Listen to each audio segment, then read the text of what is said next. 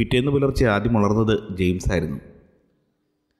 Marshal arts വിദഗ്ധനായ ആ യുവാവ് ആ ക്രൈം സീനിൽ നിന്നുകൊണ്ട് തന്നെ തന്റെ അത്യാവശ്യ വ്യായാമ മുറകളൊക്കെ പൂർത്തിയാക്കിയപ്പോഴേക്കും സമയം ആറരയായി.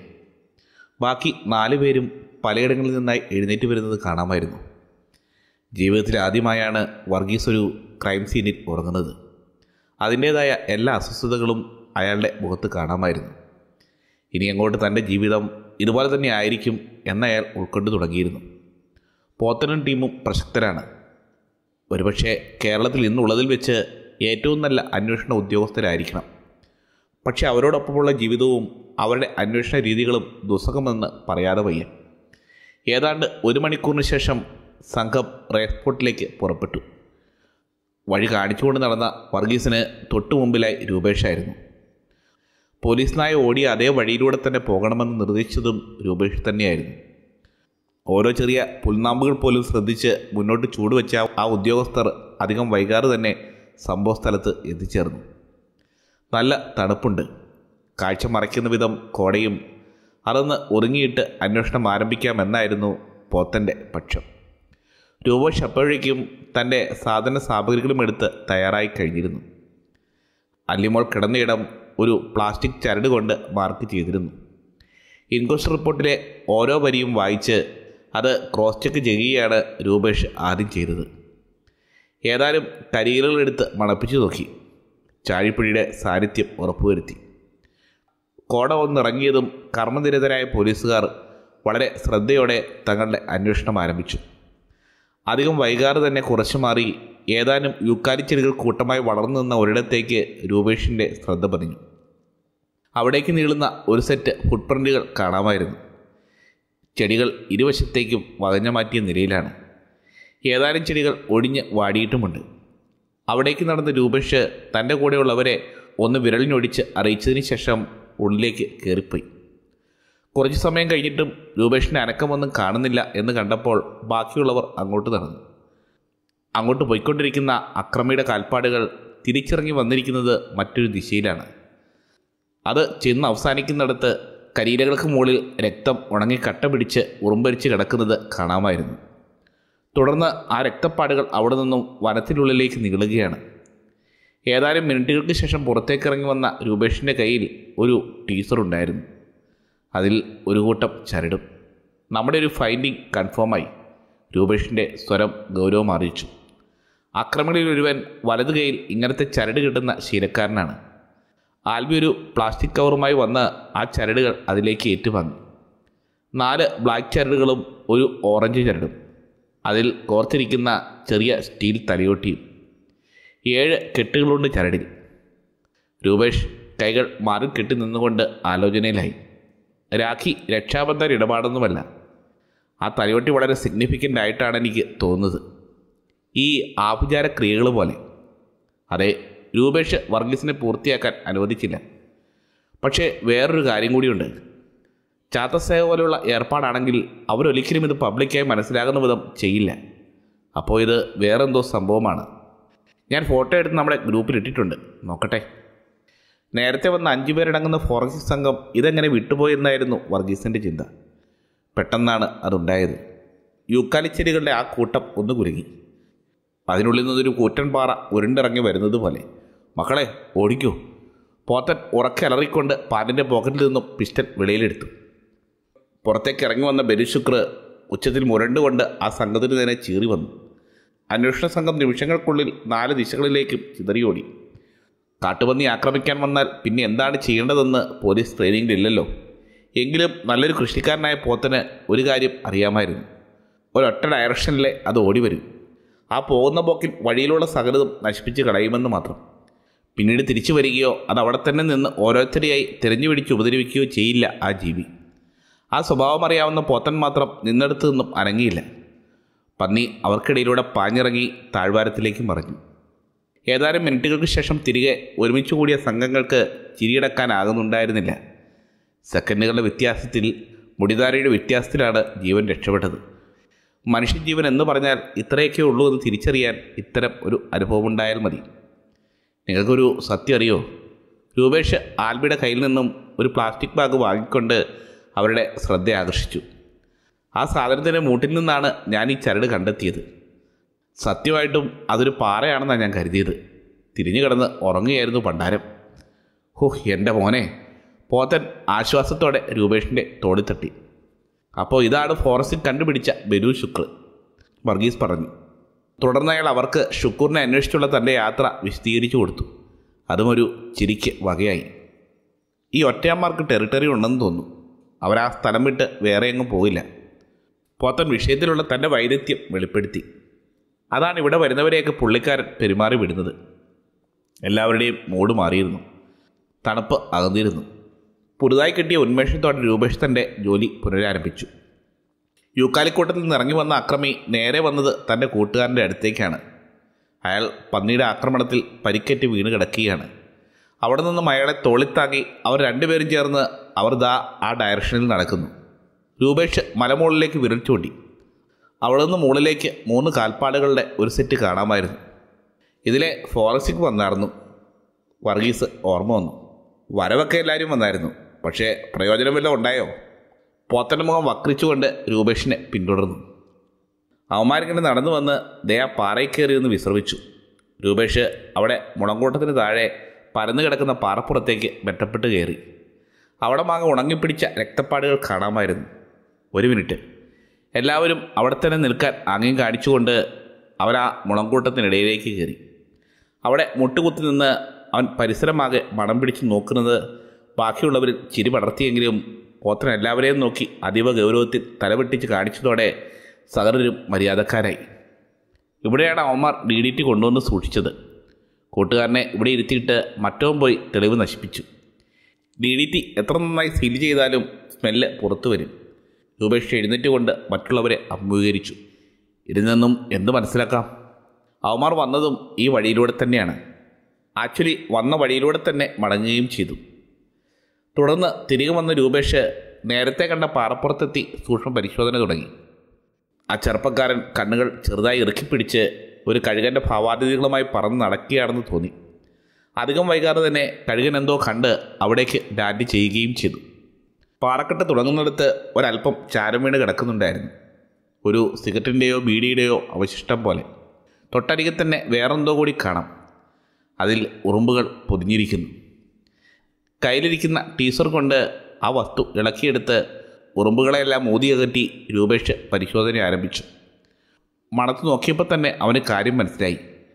എങ്കിലും ചെറിയൊരു കഷ്ണം പൊട്ടിച്ചെടുത്ത് വായിലേക്ക് ഇട്ടുകൊണ്ടാണ് അവൻ ഉറപ്പ് വരുത്തിയത്. ജിലേബിയാണ്. മുറിവ് പറ്റിയവൻ ഇവിടെ ഇരുന്ന് ഒരു ജിലേബി തിന്നുകൊണ്ട് എന്തോ വലിച്ചിട്ടുണ്ട്. കഞ്ചാവാകാനാണ് സാധ്യത. ഏ? കഞ്ചാവ് വലിക്കുന്നവന്മാർ കിക്ക് വിടാൻ വേണ്ടി ചിലപ്പോൾ മധുരപലഹാരം കഴിക്കും. വർഗീസിന് ചെറിയ വിശ്വാസക്കുറവ് തോന്നിയെങ്കിലും രൂപേഷിന്റെ ഇതുവരെയുള്ള നിഗമനങ്ങളൊക്കെ ശരിയായ ദിശയിൽ തന്നെയാണല്ലോ പോകുന്നതെന്നോർത്ത് അയാളൊന്നും മിണ്ടിയില്ല. ഇനി രൂപേഷിന്റെ നോട്ടം തൊട്ടപ്പുറത്ത് പണി കഴിപ്പിച്ചിരുന്ന ഒരു പഴയ കരിങ്കൽക്കെട്ടിലേക്കായി.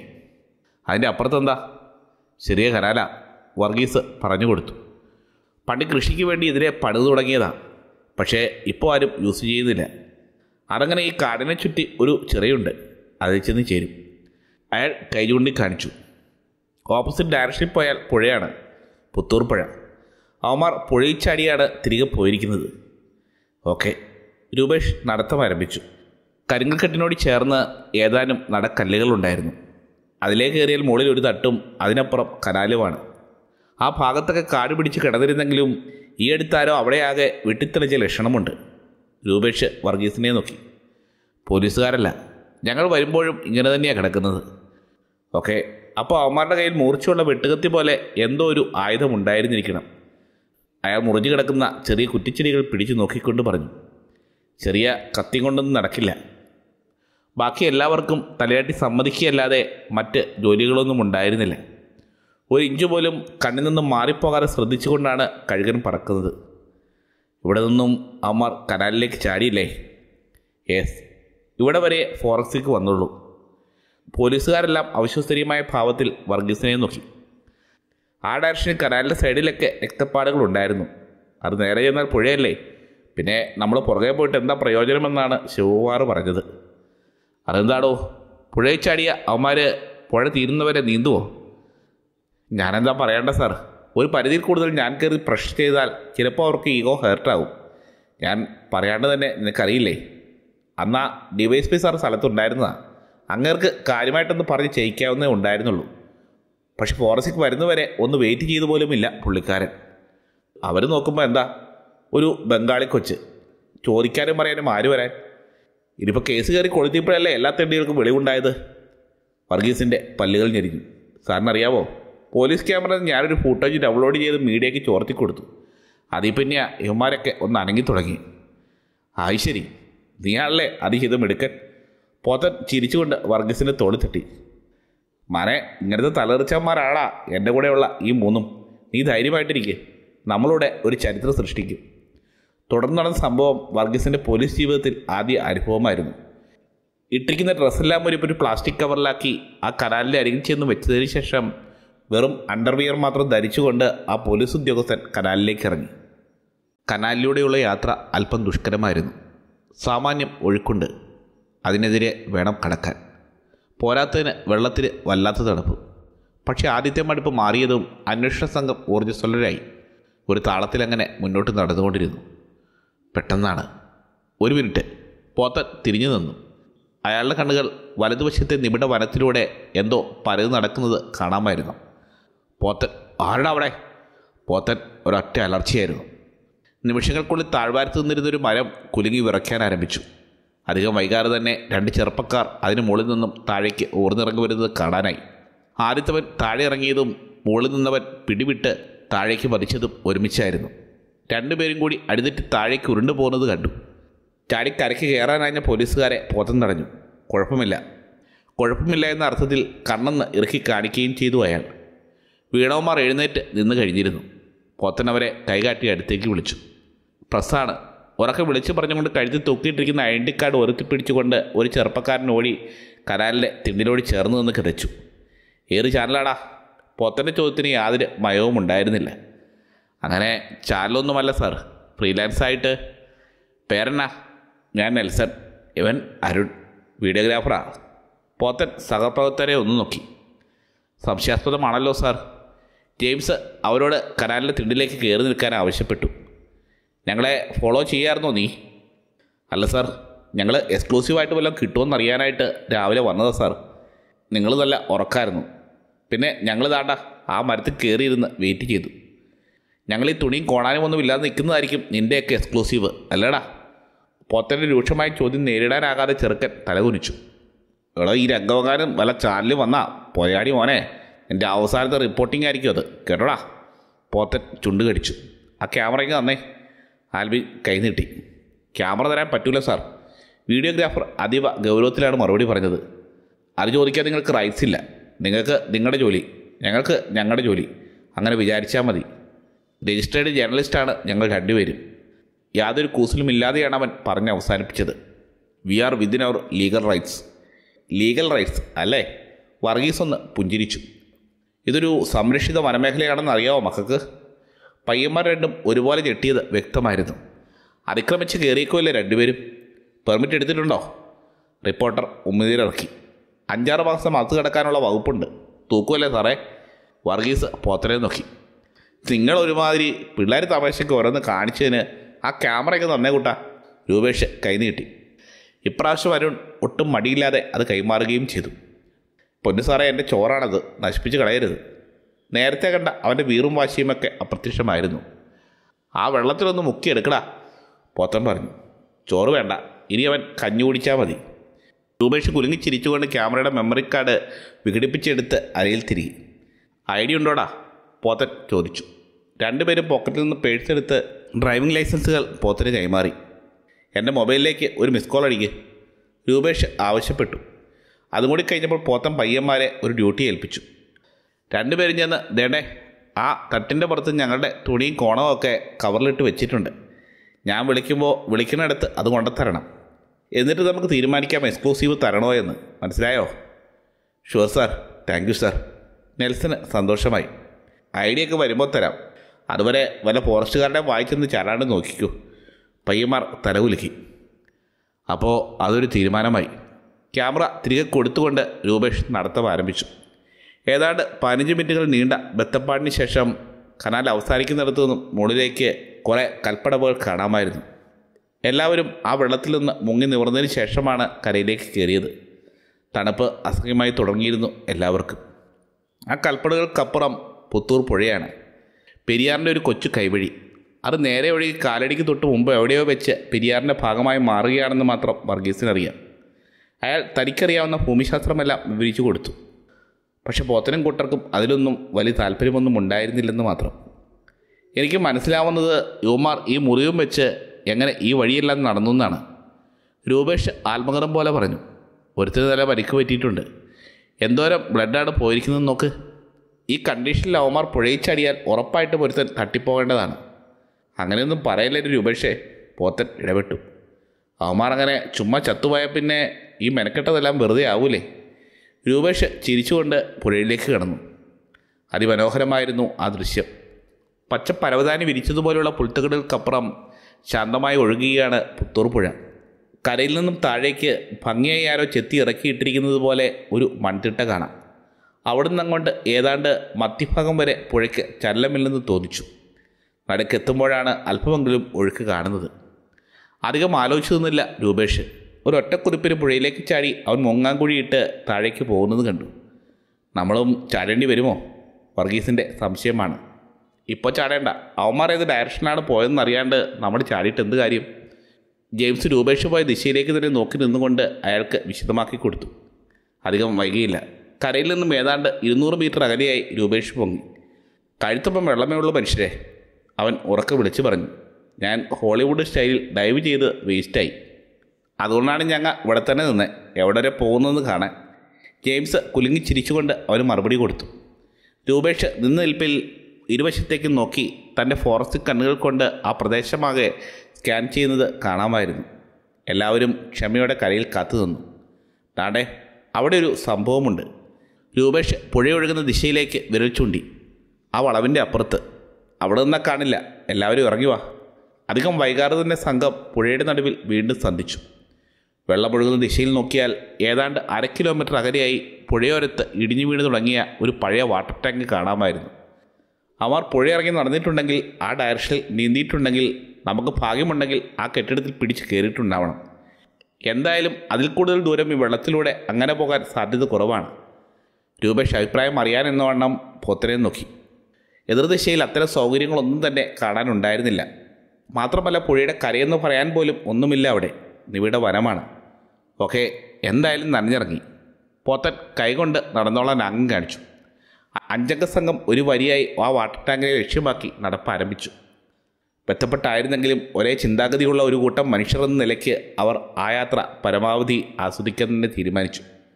ഇടയ്ക്കിടെ വെള്ളത്തിലൊന്ന് മുങ്ങിപ്പൊങ്ങണം അല്ലെങ്കിൽ സദാ വീശുന്ന മൂർച്ചയുള്ള കാറ്റിന് തണുപ്പിൽ മരവിച്ചു പോകും. ഏതാണ്ട് പത്ത് മിനിറ്റുകൾ നടന്നപ്പോൾ പുഴക്കരികിലെ മൺതിട്ട അവസാനിച്ചു. അവിടുന്ന് അങ്ങോട്ട് കൊടും കാടാണ് പുഴയുടെ അതിർ തിരിച്ചത്. ഇവിടെ കഴുന്നായ എന്ന് പറയുന്ന ഒരു സാധനമുണ്ടെന്ന് കേട്ടിട്ടുണ്ട്. കാലെ പിടിച്ച് കടിച്ചു വലിച്ച് താഴ്ത്തിക്കൊണ്ട് പോകും വർഗീസിന്റെ വക ഒരു മുന്നറിയിപ്പ് കേട്ടു. ഈ പന്നീനെ ഞാൻ ആൽവി വർഗീസിനെ ഒരൊറ്റത്തള്ളിനെ മുക്കിക്കളഞ്ഞു. ഉള്ളതാണോടെ പോത്തന്റെ സ്വരത്തിൽ ആശങ്ക. നീർനായ ചിലപ്പോൾ ഉണ്ടാവും. പക്ഷേ പേടിക്കേണ്ട കാര്യമില്ല. നമ്മൾ ഇത്രയും പേരില്ലേ? ഒന്നോ രണ്ടോ പേര് പോയാലും നമുക്ക് ഇൻവെസ്റ്റിഗേഷൻ കണ്ടിന്യൂ ചെയ്യാം. രൂപേഷ് അതത്ര കാര്യമാക്കിയില്ല. ഒരുമാതിരി കെടിഞ്ഞ കേസ്. പോത്തൻ പല്ല് കടിച്ചുകൊണ്ട് നടപ്പ് തുറന്നു. പത്ത് ചുവട് തികച്ചു വെച്ചില്ല. ആൽബി ഉറക്കെ ഒന്ന് മുരണ്ടുകൊണ്ട് വെള്ളത്തിലേക്ക് ആഴ്ന്നുപോയി ആൽബി ഉറക്കെ അലറിക്കൊണ്ട് വെള്ളത്തിനടിയിലേക്കായിരുന്ന പോത്തൻ കണ്ടത് കലങ്ങി ഉയർന്നു വരുന്ന രക്തമാണ്. നിമിഷങ്ങൾക്കുള്ളിൽ നാല് ദിശയിൽ നിന്ന് പാഞ്ഞെത്തിയ സഹപ്രവർത്തകരെല്ലാവരും ചേർന്ന് ആൽബിയെ പിടിച്ചുയർത്തിയെടുത്തു. അസഹ്യമായ വേദനയാൽ പല്ലുകൾ ഇറുക്കി കടിച്ചു പിടിച്ചിരുന്നു അവൻ. വർഗീസാണ് ആൽബിയുടെ വലതുകാൽ ഉയർത്തിപ്പിടിച്ച് ജലനിരപ്പിലേക്ക് കൊണ്ടുവന്നത്. എന്നാ കോപ്പാണെന്ന് അറിയാൻ പാടില്ല. ഏതാണ്ട് തറഞ്ഞു കയറിയതാ. കഴുനായൊന്നുമല്ല ആൽബി വിവരിച്ചു കൊടുത്തു. ഇത് കേട്ടതും ആൽബി താഴേക്ക് മുങ്ങാങ്കുഴി ഇട്ടു. ഏതാണ്ട് രണ്ട് മിനിറ്റുകൾ. ഉയർന്നു വന്ന ജെയിംസിന്റെ കയ്യിൽ ഒരു നീണ്ട കമ്പിക്കഷ്ണമുണ്ടായിരുന്നു നന്നായി നേർത്ത എന്നാൽ ബലമുള്ള ഒരു സ്റ്റീൽ തണ്ട്. ഏതാണ്ട് രണ്ടടി നീളമുണ്ടായിരുന്നു അതിന്. അറ്റത്തു നിന്നും ഒരു ഭാഗം ഒടിച്ച് കളഞ്ഞിരുന്നത് പോലെ ഒരു അടയാളമുണ്ടായിരുന്നു നോക്കട്ടെ. രൂപേഷ് അതുവാക്കി പരിശോധന തുടങ്ങി. തുരുമ്പെടുത്താണെങ്കിലും നല്ല ബലമുണ്ടായിരുന്നു ആ കമ്പിക്ക്. വളയ്ക്കാൻ ശ്രമിച്ചാൽ ഒടിയുകയുള്ളൂ എന്ന് വ്യക്തം. എന്നാൽ അതിനേക്കാളെല്ലാം ഉപരി അവരുടെ ശ്രദ്ധ ആകർഷിച്ചത് അതിന്റെ ഒരറ്റത്തായി ഘടിപ്പിച്ചിരിക്കുന്ന ബ്രഷ് പോലുള്ള ഒരു ഭാഗമായിരുന്നു നൂറുകണക്കിന് ചെറിയ നൂൽക്കമ്പികൾ പോലെ എന്തോ ഘടിപ്പിച്ച് വെച്ചിരിക്കുന്നുണ്ട്. തൊടുമ്പോൾ നല്ല മിനുസമുണ്ടായിരുന്നു ആ ഭാഗത്തിന് ഇങ്ങനെ എന്തോ ഞാൻ മുമ്പ് കണ്ടിട്ടുണ്ട്. പോത്തൻ ഓർത്തെടുക്കാൻ ശ്രമിച്ചു. എന്തായാലും കളയണ്ട കൈ പിടിക്കാം. രൂപേഷ് തന്റെ പാക്ക് പാക്കിന്റെ ഹാൻഡിലിനിടയിലൂടെ കുത്തിക്കയറ്റിക്കൊണ്ട് പറഞ്ഞു ഷൂസ് ധരിച്ചിരുന്നതിനാൽ ആൽബിയുടെ കാലിൽ കാര്യമായ പരിക്കൊന്നും പറ്റിയിരുന്നില്ല. എങ്കിലും നല്ല ആയത്തിലാണ് ആ കമ്പിയിൽ അയാളുടെ തള്ളവിരൽ ചെന്ന് പതിച്ചത്. ഒഴുക്കുള്ള വെള്ളമായതിനാൽ രക്തം നിൽക്കാനും എളുപ്പമല്ല. ഏതാനും നിമിഷങ്ങളുടെ വിശ്രമത്തിന് ശേഷം സംഘം യാത്ര തുടർന്നു. വാട്ടർ ടാങ്കിന് എടുത്തെത്തിയപ്പോഴാണ് രൂപേഷ് ആ മനോഹരമായ കാഴ്ച കണ്ടത്. സാർ വേണ്ടേ അവൻ കാടിനുള്ളിലേക്ക് വിരൽ ചൂണ്ടി. മലമുഴയ്ക്ക് വേഴാമ്പൽ അത് അവിടെയെങ്ങാനും ഇരുന്ന് മുഴക്കിക്കോട്ടെ എന്റെ ചങ്ങാതി. നീ നടന്നു എന്റെ രൂപേഷേ. ഇവിടെ മനുഷ്യന്റെ അണ്ടർഗ്രൗണ്ട് മൊത്തം തണുത്ത് മരവിച്ചു. അപ്പോഴാ പോത്തനവന്റെ തോളിൽ പിടിച്ച് മുന്നോട്ട് തള്ളിക്കൊണ്ട് അവനെ പിന്തുടർന്നു. എല്ലാവരും ഉറക്കം ചിരിച്ചുപോയി. വാട്ടർ ടാങ്ക് ബിൽഡിങ് ചുരുങ്ങിയത് ഒരു അമ്പത് വർഷം പഴക്കം തോന്നിക്കുന്ന ആ കെട്ടിടം ഉപയോഗശൂന്യമാണെന്ന് വ്യക്തമായിരുന്നു. മൊത്തത്തിൽ പലയിനം വള്ളിച്ചെടികൾ പടർന്നു കയറി മൂടിപ്പോയിരിക്കുകയാണ്. പല ഭാഗങ്ങളും അടർന്നു പോയിരിക്കുന്നു. ഭിത്തിയുടെ മുക്കാൽ ഭാഗത്തോളം ഉയരത്തിൽ പായൽ പിടിച്ചിരിക്കുന്നത് കാണാം. ചുറ്റളവിൽ ചെറുതെങ്കിലും ഒരു രണ്ട് നില കെട്ടിടത്തേക്കാൾ ഉയരമുണ്ടായിരുന്നു അതിന്. പുഴയിലേക്ക് താന്നിറങ്ങിപ്പോയിരിക്കുന്ന നാല് കോൺക്രീറ്റ് പില്ലറുകൾക്ക് മുകളിൽ വൃത്താകൃതിയിൽ പണി കഴിപ്പിച്ചിരിക്കുന്ന ഒരു പമ്പ് ഹോസും അതിനു മുകളിൽ അതേ ആകൃതി തുടർന്നുകൊണ്ട് ഒരു കൂറ്റൻ വാട്ടർ ടാങ്കുമാണ്. എന്തൊക്കെയോ എഴുതിയിട്ടുണ്ട്. പക്ഷേ മിക്ക അക്ഷരങ്ങളും പായലിന്റെ ആക്രമണത്തിന് ഇരയായിരിക്കുന്നു. പുഴയിൽ നിന്നും പമ്പ് ഹോസിലേക്ക് കയറാൻ ഏതാനും സ്റ്റെപ്പുകൾ കാണാമായിരുന്നു. മുമ്പിൽ നടന്ന രൂപേഷാണ് ആദ്യം സ്റ്റെപ്പ് വെച്ചത്. വെള്ളത്തിൽ നിന്ന് ഉയർന്നതും അതിശക്തമായ ഒരു കാറ്റിൽ അവൻ ഒരു നിമിഷത്തേക്ക് തണുത്ത് വിറങ്ങലിച്ച് നിന്നുപോയി. പിന്നെ സാവധാനം സ്റ്റെപ്പിലേക്കിരുന്ന അവൻ അവിടെ കണ്ട കാൽപ്പാടുകളും മറ്റ് ലക്ഷണങ്ങളും പരിശോധിച്ച് തന്റെ കൂട്ടാളികളെ നോക്കി തള്ളവിരൽ ഉയർത്തിക്കാട്ടി. ഇത് തന്നെ സംഭവം. അവന്മാർ നീന്തി വന്ന് ഇതിനകത്തോട്ട് കയറിയിട്ടുണ്ട് ഉറപ്പ്. വെയിറ്റ് ചെയ്യടാ പോത്തന്റെ സ്വരം ഗൗരവം അറിയിച്ചു. ആയുധമില്ലാതെ അങ്ങോട്ട് കയറി ചെല്ലുന്നത് അപകടമാണ്. തുടർന്ന് അഞ്ചു പേരും സ്റ്റെപ്പുകളിലൂടെ മുകളിലേക്ക് കയറി. ലാഡിങ്ങിലെത്തി.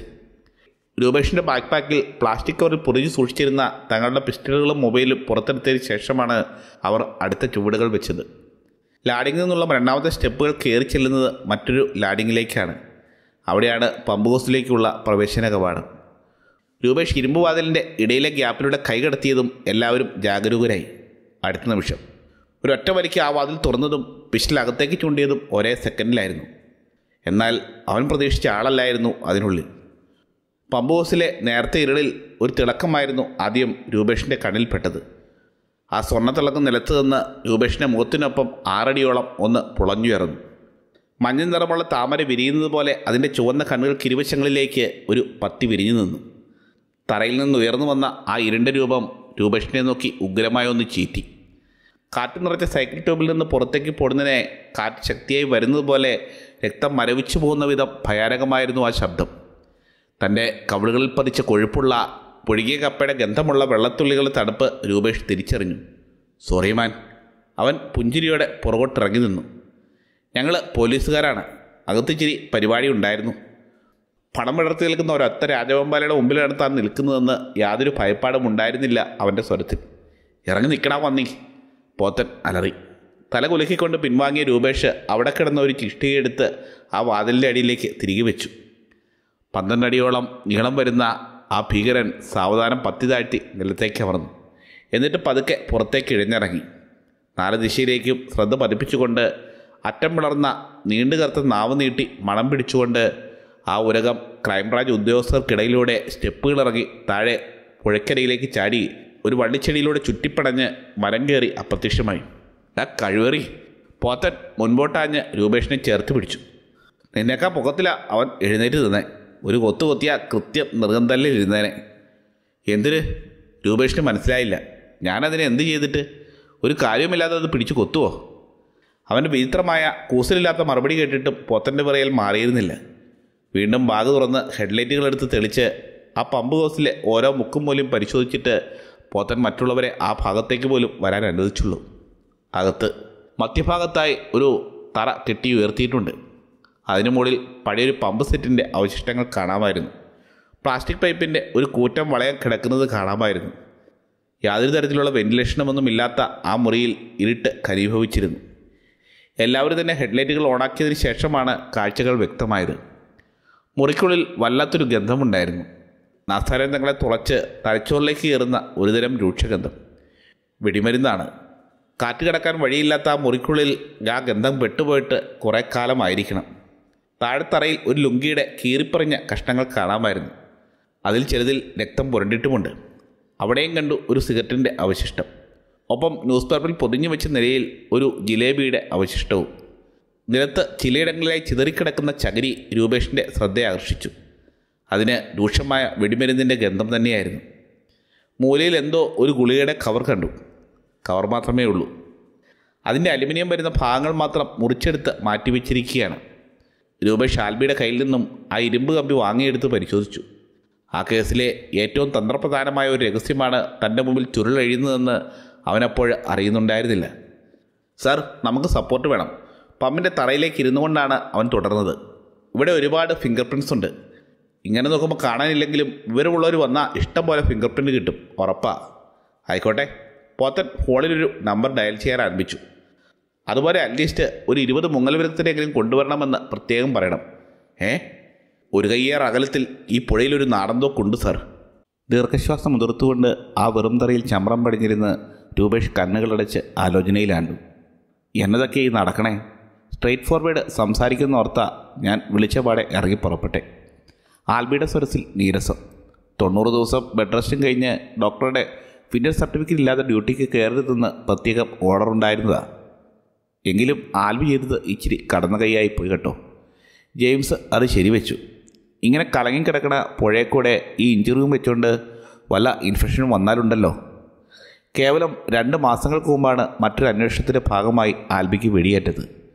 എഴുന്നേറ്റ് നടക്കാറായിട്ട് അധികം ദിവസമായിട്ടില്ല. പോത്തന്റെ വിളി കേട്ടതും ചാടി പുറപ്പെട്ടതാണ് അയാൾ. ആൽബിമോനെ പോത്തൻ ഇടപെട്ടു. ഈ പന്നകളെ നമുക്ക് പിടിച്ച് കൈകാര്യം ചെയ്യുന്ന ആ ദിവസമുണ്ടല്ലോ. അന്ന് തീരും നിന്റെ കേടുപാടുകളൊക്കെ. ഇത്രയും നല്ലൊരു ചികിത്സയൊന്നും ഒരു ഡോക്ടർക്കും തരാൻ പറ്റില്ല. രൂപേഷ് ധ്യാനത്തിൽ നിന്ന് ഉണർന്നു കഴിഞ്ഞിരുന്നു. സോളിഡ് എവിഡൻസ് ഒന്നും ആരും ചോദിക്കരുത്. ഇതെന്റെ ഒരു ഇൻഡ്യൂഷൻ മാത്രമാണ്. അവനൊരു മുഖപരിയോടെ സംസാരിച്ചു തുടങ്ങി. അക്രമികൾ രണ്ടുപേരും ഇവിടെയാണ് താമസിച്ചിരുന്നത്. ഇവിടെയായിരുന്നു അവന്മാരുടെ പ്ലാനിംഗ് എല്ലാം. ഒരുപക്ഷെ ദിവസങ്ങളോളം അവർ ഇവിടെ തന്നെ തമ്പടിച്ചിരിക്കണം. നിരത്ത് വീണ് കടന്നിരുന്ന ഉണങ്ങിയ ചോറുപറ്റികളിലേക്ക് ചൂണ്ടിക്കൊണ്ട് അവൻ തുടർന്നു. ഇവിടെ നിന്നും ആദിന്റെ വീട്ടിലേക്ക് പോകുമ്പോൾ അവരുടെ കയ്യിൽ ഒരു തോക്കുണ്ടായിരുന്നു. അത് ഇവിടെ ഇരുന്നാണ് നിറച്ചത്. പഴയ നാടൻ തോക്ക്. അത് ഇൻജ്യൂഷനല്ല അങ്ങനെ തന്നെ ആവാനാണ് സാധ്യത. പോത്തൻ ശരിവെച്ചു. പഴയ തോക്കുകൾ നിറയ്ക്കുന്നത് ഒരു ചടങ്ങാണ്. ആദ്യം വെടിമരുന്നിട്ട് ദായി കമ്പി കൊണ്ട് കുത്തി കുത്തിയൊതുക്കും രൂപേഷ് പുഴയിൽ നിന്നും കിട്ടിയ ആ ഉപകരണം കാണിച്ചു കൊടുത്തു. പിന്നെ ഇതിന്റെ മുകളിൽ ചകിരിയിട്ട് വീണ്ടും കുത്തിയൊതുക്കും പിന്നെ അതിന്റെ മുകളിലേക്ക് വെടിയുണ്ടിയിട്ട് നല്ല മെറ്റൽ പീസുകളോ മറ്റോ ഇടും. എന്നിട്ട് മുകളിൽ ചകിരിയിട്ട് ഒന്നുകൂടി കുത്തി ഉറപ്പിക്കും. കുത്തുകമ്പി. യെസ് അതാണ് ഈ സാധനം. ഞാൻ പറഞ്ഞില്ലേ? ഇത് ഞാൻ മുമ്പ് കണ്ടിട്ടുണ്ട്. പോത്തൻ ഓർത്തെടുത്തു. അപ്പോൾ അവന്മാർ ഇവിടെ ഇരുന്ന് തോക്ക് നിറച്ചു. എന്നിട്ട് അതിന്റെ വീട് ലക്ഷ്യമാക്കി പുറപ്പെട്ടു.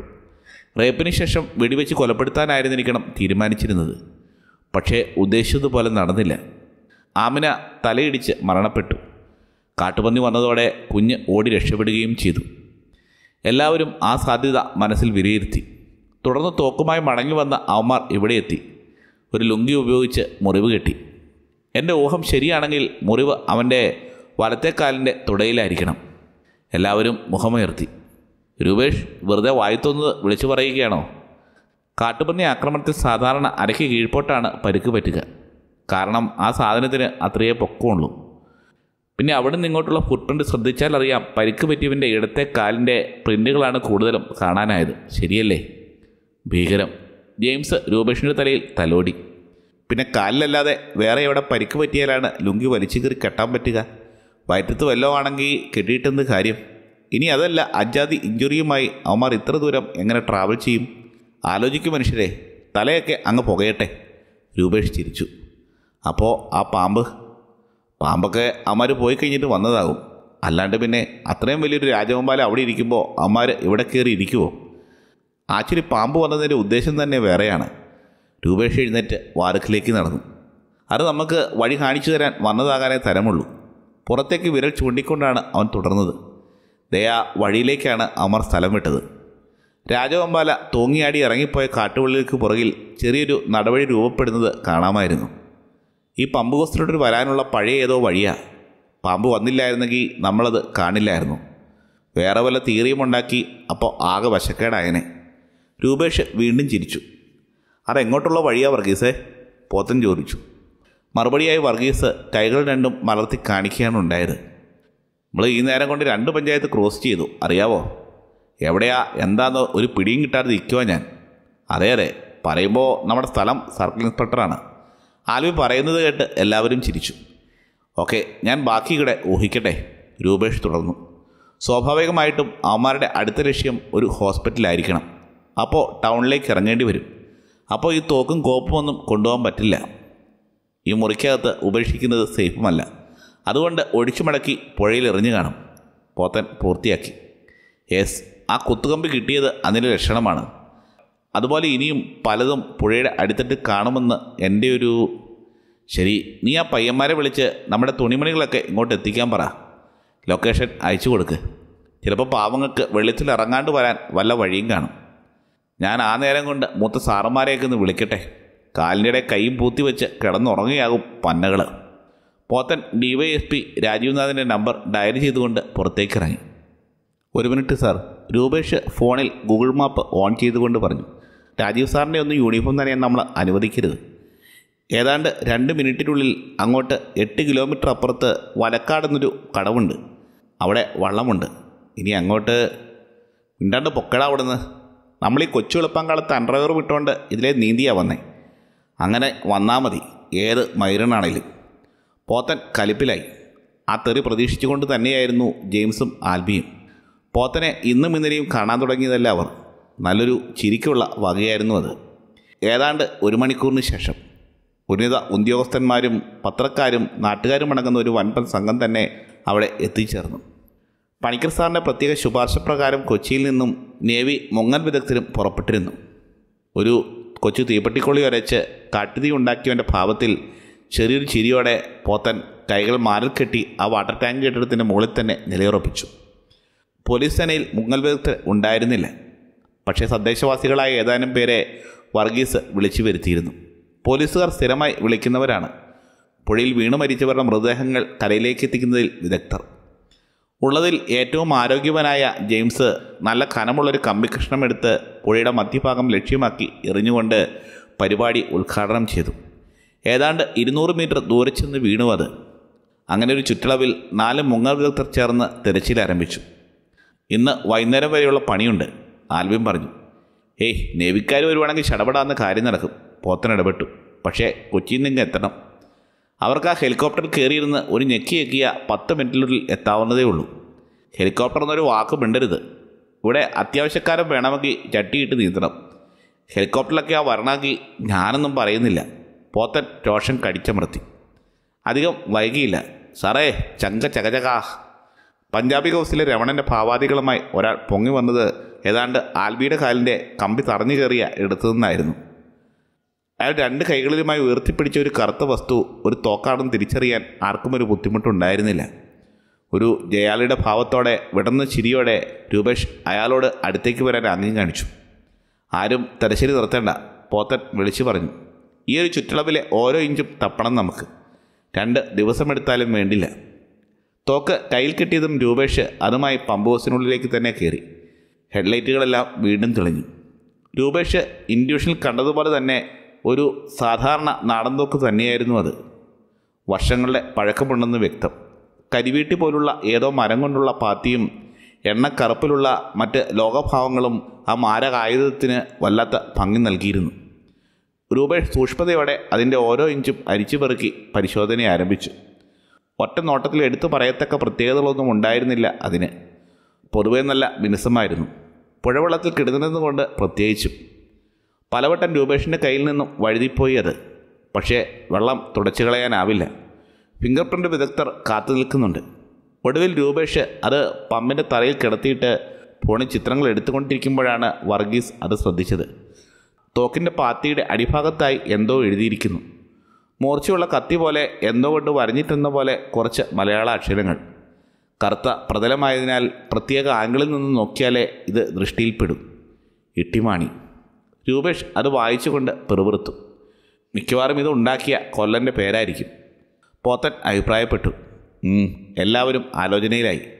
വർഗീസ് എന്തോ കാര്യമായി ഓർത്തെടുക്കാൻ ശ്രമിക്കുന്നത് കാണാമായിരുന്നു. ഒടുവിൽ ഇട്ടിമാണി കൊല്ലനൊന്നുമല്ല എനിക്കറിയാം ഇതാരാണെന്ന്. എല്ലാവരുടെയും ശ്രദ്ധ വർഗീസിലായി. Ittimani Anson state licensee. Varghese ഒരു ബോർഡ് വായിക്കുന്നത് പോലെയാണ് അത് ഉരുവിട്ടത്. നമ്മുടെ പാറയ മത്തായുടെ അപ്പനാണ് ഇട്ടിമാണി. മത്തായുടെ തോക്കായത് ഈ കോപ്പ് അന്വേഷിച്ചാണ് നമ്മൾ ഈ കാടായ കാട് മുഴുവൻ കയറി വശം കെട്ടത്. അമ്പരപ്പിക്കുന്ന ആ വാർത്ത കേട്ട എല്ലാവരും ഞെട്ടി നിൽക്കുകയാണ്. മത്തായുടെ തോക്കൊക്കെ യുമാരുടെ കയ്യിൽ എങ്ങനെ വന്നു? പോത്തൻ താടിക്ക് കൈ കൊടുത്ത് നിന്നുപോയി. ഞാൻ പറഞ്ഞില്ലേ മെനക്കെട്ട കേസായത്. ആൽബി പല്ല് കടിച്ചു. ഇരുപത്തിനാല് മണിക്കൂറിനുള്ളിൽ പിടിച്ചു കൊടുത്ത സാറിന് എന്നാ കിട്ടുമെന്നാ പറഞ്ഞേ? ഇരുപത്തിനാല് മണിക്കൂറൊക്കെ വിട്. പോത്തന്റെ സ്വരം ദൃഢമായി. ഇപ്പോഴാ കേസിന് ഒരു ക്രൈംബ്രാഞ്ച് കേസിന്റെ കെറ്റപ്പുണ്ടായത് അടുത്ത പരിപാടി ഒന്ന് നോക്കാം നമുക്ക്. ഫിംഗർ പ്രിന്റ് വിദഗ്ധർ വന്ന് തോക്ക് വാങ്ങി കൊണ്ടുപോയി. പോത്തൻപതിയെ പിള്ളേരെ വിളിച്ചുകൊണ്ട് പമ്പ് സെറ്റിന്റെ സ്റ്റെപ്പുകൾ ഇറങ്ങി രാജവമ്പാല പോയ വഴിയെ കാട്ടുവള്ളിയിൽ തൂങ്ങിയാടി അപ്പുറത്തെത്തി. ഈ കാട്ടുവള്ളി എങ്ങോട്ടാണ് പോകുന്നതെന്ന് ആർക്കെങ്കിലും അറിയോ? അത് നേരെ ചെന്ന് മദിരാശിമുക്കിൽ ഇറങ്ങും സാർ നാട്ടുകാരിൽ ആരോ മറുപടി കൊടുത്തു. അവിടെ ഹോസ്പിറ്റൽ വല്ലതും ഉണ്ടോ? ചെറിയൊരു പി മാത്രമേ ഉള്ളൂ സാർ ടൗണിൽ ചെന്ന് ആരോട് ചോദിച്ചാലും പറഞ്ഞു തരും. അപ്പോൾ ആ കൂട്ടത്തിൽ നിന്നും ഒരു യുവാവ് മുൻപോട്ട് വന്നു. സാറേ ഞങ്ങളുടെ ലൈസൻസ് തന്നില്ലായിരുന്നു. നെൽസനാണ് ഫ്രീലാൻസ് റിപ്പോർട്ടർ. ആ പോത്തന്റെ പോക്കറ്റിൽ നിന്നും അമ്മയുടെ ലൈസൻസ് പുറത്തെടുത്തു. ഹെവി ലൈസൻസ് ഒക്കെ ഉണ്ടല്ലോടാ നിനക്ക്? ഉണ്ട് സാർ. നെൽസൻ പുഞ്ചിരിച്ചു. എന്നാൽ പിന്നെ ഒരു കാര്യം ചെയ്യേ. ആ അതിൽ വീടിന്റെ അവിടെ ഒരു ബൊലോറ കിടപ്പുണ്ട്. നീ അതുകൊണ്ട് നേരെ മദിരാശിമുക്കിലോട്ട് വാ. ലൈസൻസ് ഒക്കെ എന്നിട്ട് തരാം. പയ്യൻ വിഷണനായി. അപ്പോൾ സാർമാരെ പോത്തർ എല്ലാവരുടെയും ശ്രദ്ധ ആകർഷിച്ചു. നന്നായിട്ട് തന്ന തപ്പ് കേട്ടോ. ഞങ്ങൾ അടുത്ത സ്പോട്ടിലേക്ക് പോട്ടെ. കൊടും കാടിന് നടുവിലൂടെ അരഞ്ഞാളം പോലെ മെലിഞ്ഞു നീട്ട് കിടക്കുന്ന ആ കാട്ടുവഴി താണ്ടി നടക്കുന്നത് അത്ര എളുപ്പമല്ലായിരുന്നു. ഒരു വെട്ടുകത്തിയുമായി ഏറ്റവും മുമ്പിൽ നടന്ന ജെയിംസ് തന്റെ സഹപ്രവർത്തകർക്കായി വഴിതെളിച്ചു. ഒരു ചാറ്റം മഴയും കൂടെ ഉണ്ടായിരുന്നെങ്കിലുണ്ടല്ലോ. രൂപേഷ് ഓരോ നിമിഷവും ആസ്വദിക്കുകയാണ്. അഞ്ചു പേരും പൊതുവെ നല്ല ആരോഗ്യ ദൃഢഗാത്രരായതിനാൽ അറ്റമില്ലാതെ കിടക്കുന്ന ആ ഓടുവഴി അവരെ അശേഷം ഭയപ്പെടുത്തിയില്ല. ആൽബി മാത്രമാണ് അല്പം ശ്രദ്ധിക്കേണ്ടത്. ഏതാണ്ട് അരമണിക്കൂർ നീണ്ട നടത്തിന് ശേഷം സംഘം ഒരു മരച്ചവിട്ടിൽ വിശ്രമിക്കാനിരുന്നു. ജെയിംസും ആൽബിയും ഓരോ സിഗരറ്റ് കത്തിച്ചുകൊണ്ട് കൂട്ടത്തിൽ നിന്നും അല്പം മാറിയാണ് നിന്നത്. അപ്പോൾ വലതുവശത്തായി താഴ്വാരത്തിൽ എന്തൊക്കെയോ അനക്കങ്ങൾ കാണാനായി. രണ്ട് മനുഷ്യർ ചുമരിൽ എന്തൊക്കെയോ ഭാണ്ഡക്കെട്ടുകളുമായി കയറി വരികയാണ്. പോലീസുകാർ ജാഗരൂകരായി. ബന്ധപ്പെട്ട് കയറി വരുന്ന രണ്ടുപേരും അവരെ കണ്ട മാത്രയിൽ നിശ്ചലരായി. അമ്പരന്ന് പോയിരുന്നു അവർ. അത്ര ഉൾക്കാട്ടിൽ പാന്റ് ഷർട്ടുമിട്ട് മാന്യരായ മനുഷ്യരെ ആരും പ്രതീക്ഷിക്കുന്നില്ലല്ലോ. എന്നെ ഇടപാട്? കാട് കാണാൻ ഇറങ്ങിയതാണോ? മുമ്പിൽ നിന്നവർ ഒരു രസമില്ലാത്ത മട്ടിലാണ് ചോദിച്ചത്. അതെ അതെ പോത്തൻ അവരോട് അടുത്തേക്ക് വരാൻ അങ്ങ് കാണിച്ചു. നിങ്ങൾക്ക് എന്നാ പരിപാടി? ഓ ഞങ്ങൾ ഈ വല്ല വിറക് ഒടിഞ്ഞ് വീണ് കിടക്കുന്നുണ്ടോ എന്ന് നോക്കി ഇറങ്ങിയതാ. അതെന്നാ സഞ്ചിയിൽ ജെയിംസാണ് ചോദിച്ചത്. അതെന്തെങ്കിലും ആട്ടെ നിങ്ങളിവിടെ ചുറ്റിപ്പറ്റി നിൽക്കാണ്ട് വേഗം സ്ഥലം കാലിയൊക്കെ നോക്കിക്കേ. പുട്ടറിമീസ് നടക്കുന്ന വഴിയാ ചവിട്ടി പിരുത്ത് കളയും. പുട്ടറിമീസ് ഒരു ആനയായിരിക്കുമെന്ന് പോലീസുകാർ ഊഹിച്ചു. സ്ഥിരമായി നാട്ടിലിറങ്ങുന്ന ഒറ്റയാന്മാർക്ക് നാട്ടുകാർ പേരിടാറുണ്ട്. ഞങ്ങൾ പൊക്കോളാം പക്ഷേ ആദ്യം സഞ്ജീൽ എന്നാണെന്ന് പറ. പോത്തനൊരു ചെറു ചിരിയോടെ അവർക്ക് നേരെ രണ്ട് ചുവടുകൾ വെച്ചു. അവിടെ നിന്നാൽ മതി പുറകിൽ വന്നവന്റെ ഭാവം മാറി. കാഴ്ച കാണാൻ വന്നവരാണെങ്കിൽ അതും കഴിഞ്ഞ് നേരത്തെ വീട് പറ്റാൻ നോക്ക്.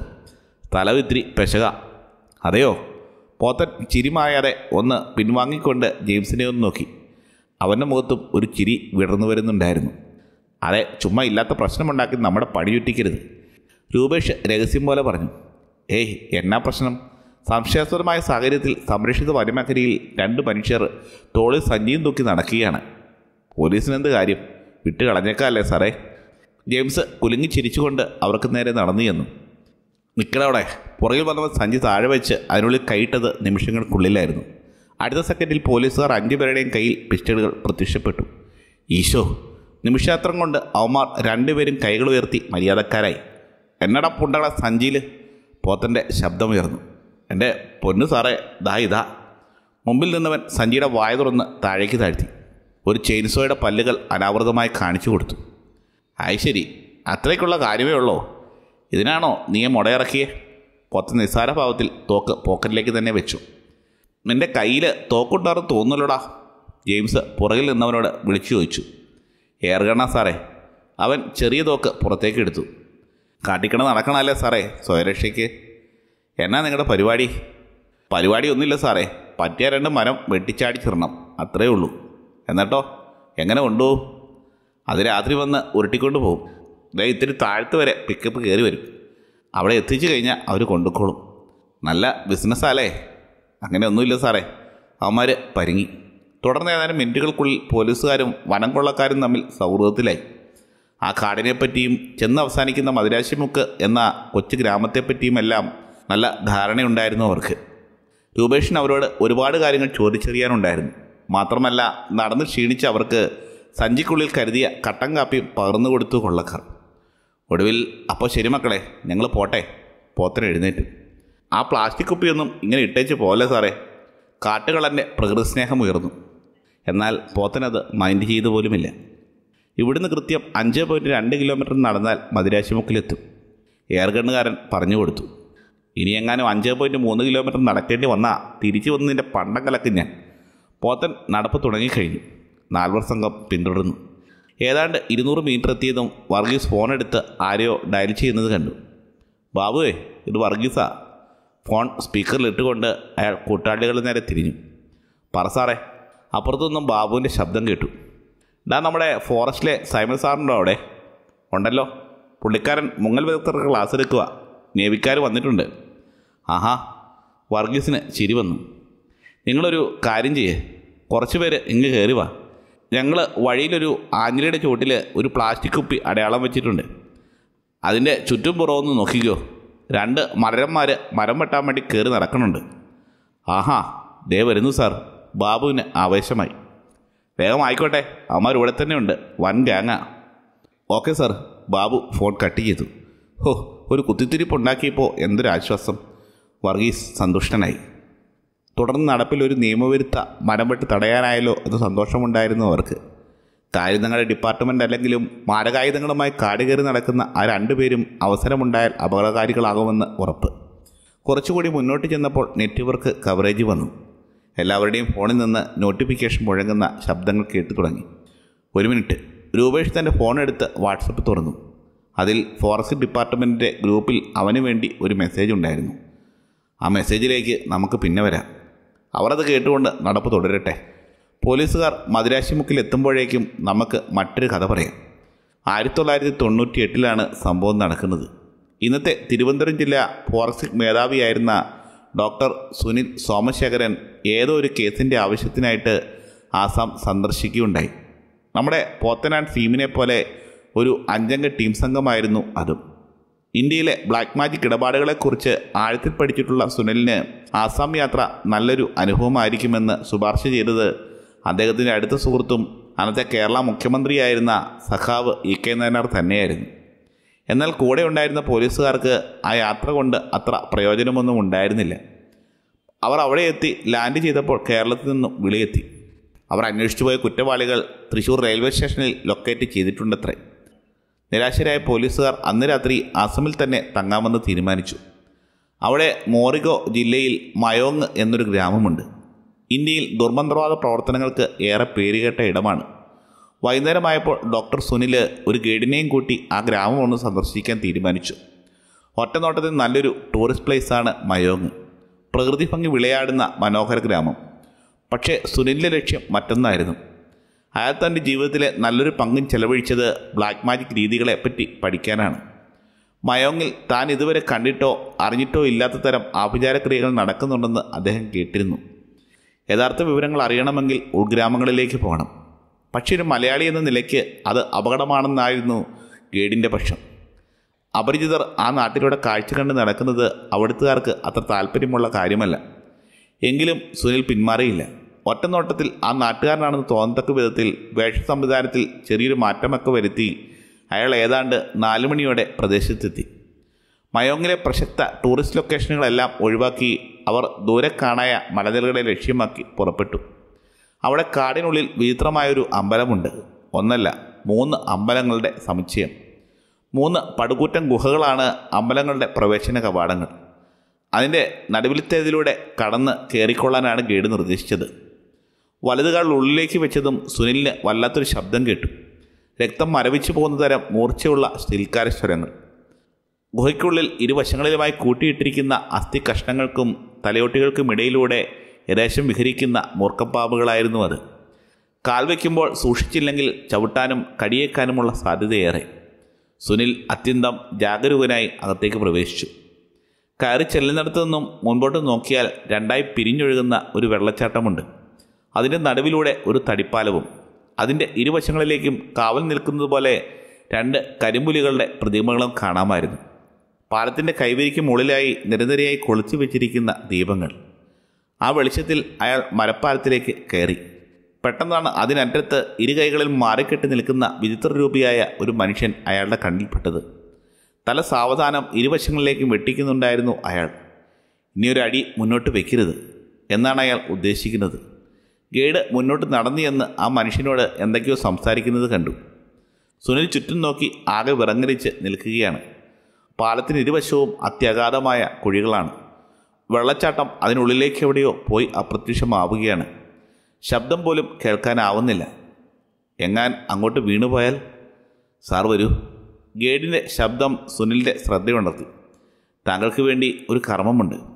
എനിക്കോ? എന്തിന്? അതിനുള്ള മറുപടി അയാൾ പറഞ്ഞത് രഹസ്യമായിട്ടായിരുന്നു. നിങ്ങളൊരാളെ കൊന്നിട്ട് വന്നിരിക്കുകയാണെന്നാണ് ഞാൻ പറഞ്ഞിരിക്കുന്നത്. ഇനി അത് മാറ്റിപ്പറയാൻ നിൽക്കരുത്. ജീവനോടെ തിരിച്ചു പോകാൻ പറ്റില്ല. ഡോ ഞാൻ സുരല്ല കണ്ണുകൾ തള്ളി വന്നു. മിണ്ടാതെ എന്റെ പുറകെ പോരെ.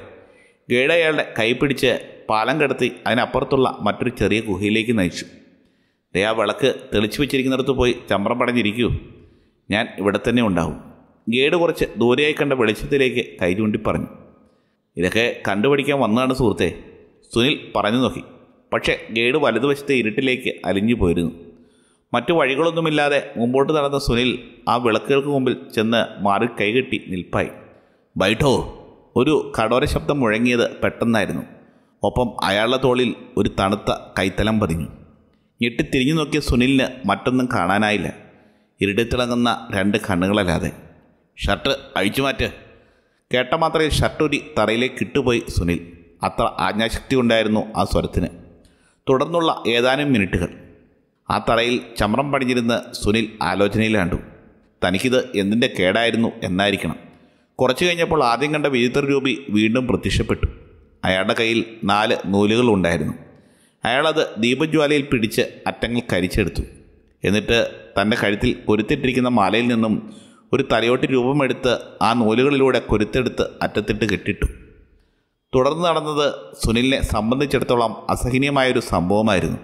താൻ നിലത്ത് ചവിട്ടിപ്പിടിച്ചിരുന്ന ഒരു കറുത്ത കോഴിയെ ഉയർത്തിക്കൊണ്ട് സുനിലിന്റെ തലയ്ക്ക് ചുറ്റും നാല് വട്ടം ഇടത്തേക്ക് ഒഴിഞ്ഞു ആ മനുഷ്യൻ. അതിനുശേഷം ആ ദീപങ്ങൾക്കപ്പുറം കടന്ന് ഇരുട്ടിൽ നിന്നും ഒരു കറുത്ത തലകിയെടുത്ത് സുനിലിന് മുമ്പിൽ മലർത്തി വെച്ചു. അവിടെ ഒരു കോഴിയുടെ തല പുറകോട്ട് വളച്ചു പിടിച്ച് പാത്രത്തിന് മുകളിൽ പിടിച്ചുകൊണ്ട് ഒരു ചെറു കത്തിയെടുത്ത് സുനിലിന് നേരെ നീട്ടി. അയ്യോ എന്നെക്കൊണ്ട് പറ്റില്ല. സുനിൽ ഞെട്ടിക്കൊണ്ട് ചുറ്റുമുള്ള ഇരുട്ടിൽ തന്റെ ഗൈഡിനെ തിരഞ്ഞു. കട്കരോ ഭായ് പുറകിൽ നിന്നിരുന്ന മനുഷ്യൻ തന്റെ മുട്ടുകാൽ കൊണ്ട് സുനിലിന്റെ കഴുത്തിന് പുറകിൽ അമർത്തി. കട്കരോ മറ്റൊരാളും അതുതന്നെ ആവർത്തിച്ചു. തുടർന്ന് ഭീകരമായ മന്ത്രോച്ചാരണങ്ങൾ ആ ഗുഹയിൽ നിറഞ്ഞു. പതിഞ്ഞ് താളത്തിൽ തുടങ്ങി സാവധാനം വേഗത കൂടി വന്ന ആ ശ്ലോകങ്ങൾ എന്തുകൊണ്ടോ ഭീതിജനകമായിരുന്നു. ഒപ്പം പുറകിൽ കുനിഞ്ഞിരുന്നു കൊണ്ട് ആ മനുഷ്യൻ സുനിലിന്റെ കയ്യിൽ പിടിച്ച് ആ കോഴിയുടെ കഴുത്തിൽ മുട്ടിച്ചു. ആപ്കോ ടർണാപ്പടേക അയാൾ സുനിലിന്റെ ചെവിയിൽ മന്ത്രിച്ചു. ഒടുവിൽ മറ്റു വഴിയൊന്നുമില്ല എന്ന് തിരിച്ചറിഞ്ഞ സുനിൽ കണ്ണുകൾ ഇറുക്കിയടച്ചുകൊണ്ട് ആ കത്തി പുറകോട്ട് ആഞ്ഞു വലിച്ചു. കോഴിയിൽ നിന്നും ദീനമായൊരു ജനക്കം മാത്രം കേട്ടു. ചിതറിച്ചരിച്ച ചോരയിൽ സുനിലിന്റെ മുഖം കുതിർന്നു. തുടർന്ന് ഏതാണ്ട് ഒന്നര മണിക്കൂറോളം മന്ത്രോച്ചാരണങ്ങളും നാമജപങ്ങളുമായിരുന്നു. അത് ഏഴുവട്ടമുണ്ടായി ഓരോ വട്ടവും പ്രാർത്ഥനകൾ അവസാനിക്കുമ്പോൾ ചരടിലോരോ കെട്ടിടുന്നുണ്ടായിരുന്നു കാർമ്മികൻ. അതോടൊപ്പം ഇടയ്ക്കിടയ്ക്ക് തളികയിൽ നിന്നും കോഴിയുടെ രക്തമെടുത്ത് അകത്തെ ഇരുണ്ട മൂർത്തിയിലേക്ക് തളിച്ചു മറ്റേയാൾ. ഒടുവിൽ എല്ലാം ശാന്തമായി. അസ്പഷ്ടമായി എന്തൊക്കെയോ പിറുപിറുത്തുകൊണ്ട് ആ മനുഷ്യൻ ചരട് കൈവെള്ളയിൽ ചുരുട്ടിപ്പിടിച്ച് അതിലേക്ക് ശക്തിയായി ഒന്നൂതി ശേഷം സുനിലിനെ എഴുന്നേൽപ്പിച്ച് നിർത്തി.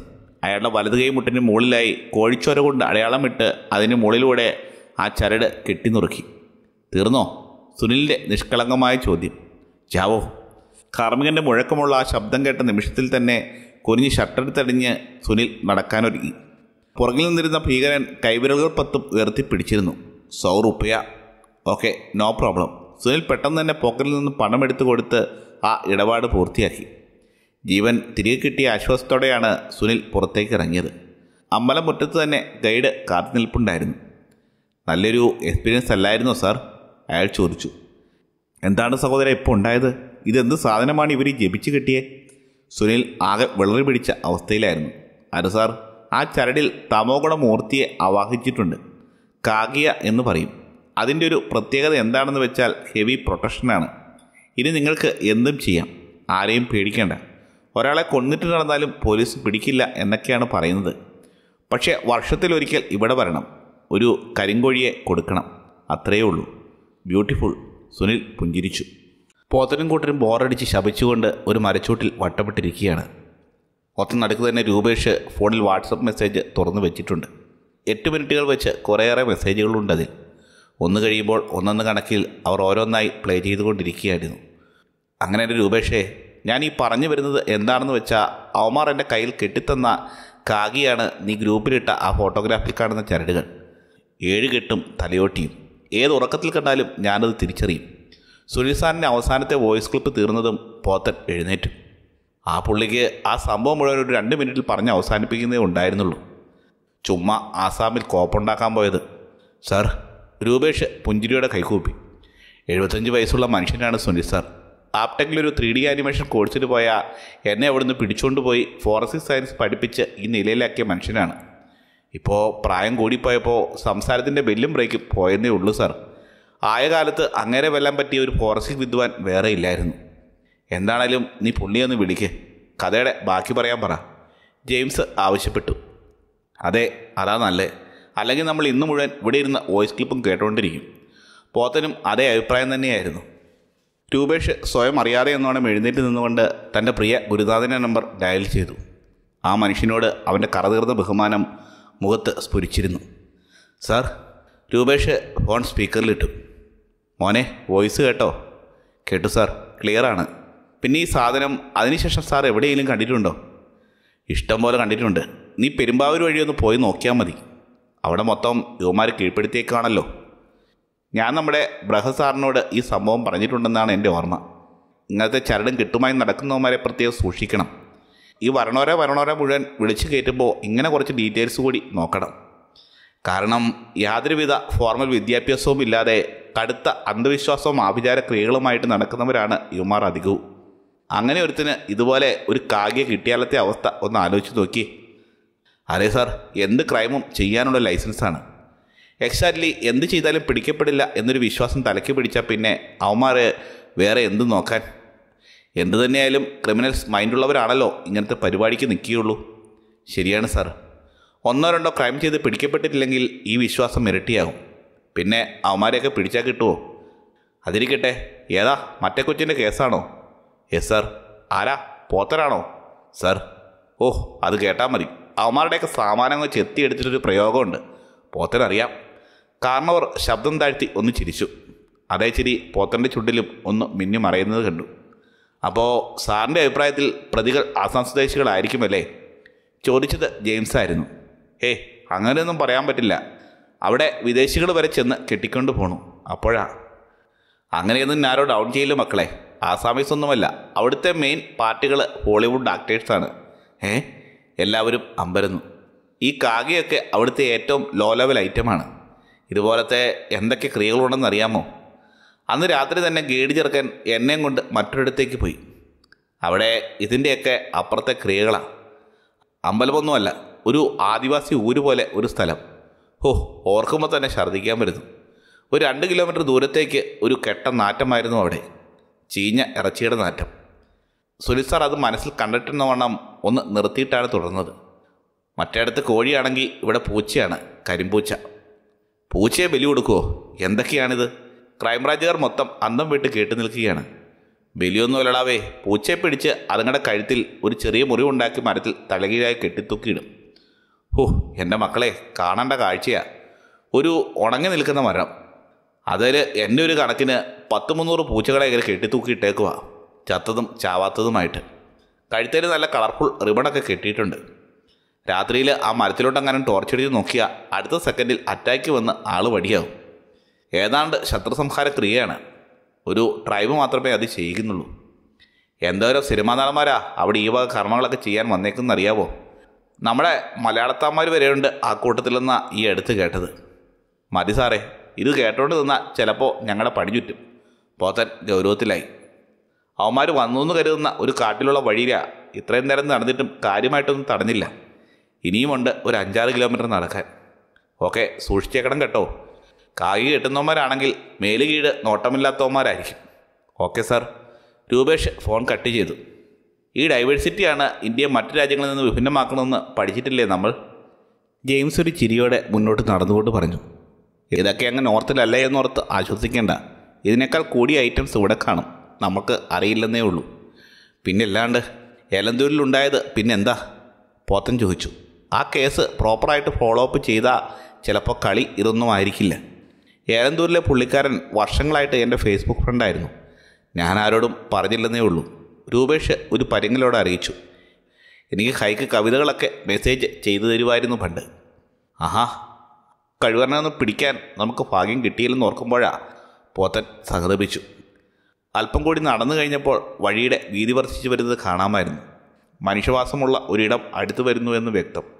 പെട്ടെന്ന് നിക്കേ നിക്കേ. ഏറ്റവും മുമ്പിൽ നിന്നും രൂപേഷ് ഉറക്കെ വിളിച്ചു പറഞ്ഞു. അവിടെ നിന്നും അങ്ങോട്ട് മണ്ണിൽ തറഞ്ഞു കിടക്കുന്ന സ്കൂട്ടറിന്റെ ടയർപ്പാടുകൾ അവന്റെ കണ്ണിൽപ്പെട്ടിരുന്നു വലതുവശത്ത് ഒരു കുറ്റിക്കാട്ടിൽ നിന്നും പുറത്തേക്ക് വന്ന് ആ ഓടുവഴിയിലൂടെ മുൻപോട്ട് തെളിഞ്ഞു കിടക്കുകയാണ്. സ്കൂട്ടറാണ് സാധനം. രൂപേഷ് പെറുപെറുത്തു. പക്ഷേ ജനറിക്കായിട്ടുള്ള ഏതോ ടയർ ബ്രാൻഡാ അതിന്റെ ഏതാനും ഫോട്ടോകൾ എടുത്ത ശേഷം അവർ ആ ടയർപ്പാടുകളിൽ ചവിട്ടാതെ മുന്നോട്ട് യാത്ര തുടർന്നു.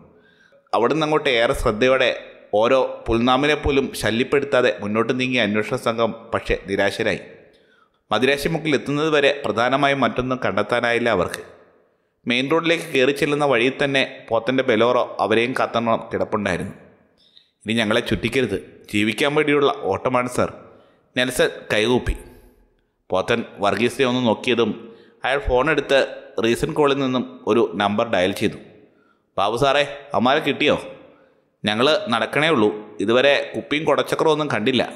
ആയിക്കോട്ടെ. അതേ ഞാൻ രണ്ട് പിള്ളേരെ അങ്ങ് കയറ്റിവിടുന്നുണ്ട്. നമ്മുടെ പിള്ളേരാ പെർമിറ്റൊന്നുമില്ല രണ്ട് ഫോട്ടോ എടുത്ത് വെച്ച് പോന്നേളൂ നിങ്ങൾ മുടയുണ്ടാക്കരുത്. അനിപ്പോൾ എന്നാ സാറേ കയറ്റിവിട്. വർഗീസ് പറഞ്ഞാൽ പിന്നെ ബാബു സാറിന് അതൊന്നും ഒരു വിഷയമല്ല. അതെ രസാ. നിങ്ങൾ രണ്ടും കൂടി ഒട്ടും സമയം കളയാതെ ഈ വഴിക്ക് കയറിക്കൂ കൃത്യം രണ്ട് പോയിന്റ് അഞ്ച് കിലോമീറ്റർ നടന്നു കഴിയുമ്പോൾ അവിടെ ഫോറസ്റ്റുകാരുടെ വക ഒരു കലാപരിപാടിയുണ്ട്. നിങ്ങൾക്ക് നല്ലൊരു സ്കൂപ്പായിരിക്കും. ഓടിച്ചില്ല. പോത്തൻ അവരുടെ ലൈസൻസുകൾ തിരികെ കൊടുത്തുകൊണ്ട് പറഞ്ഞു ആ ക്യാമറയുടെ കാർഡ് ഞങ്ങളൊന്ന് പരിശോധിച്ചിട്ട് തന്നേക്കാം. നാളെ ഈ പുള്ളിയുടെ സ്റ്റേഷനിൽ ചെന്ന് മേടിച്ചാൽ മതി. ആയിക്കോട്ടെ സാർ. പയ്യന്മാർ സന്തുഷ്ടരായി. പബ്ലിക് ഹെൽത്ത് സെന്റർ മദിരാശിമുക്ക് പൊട്ടിപ്പൊളിഞ്ഞു തുടങ്ങിയ പഴയ ഒറ്റനില കെട്ടിടമായിരുന്നു അത്.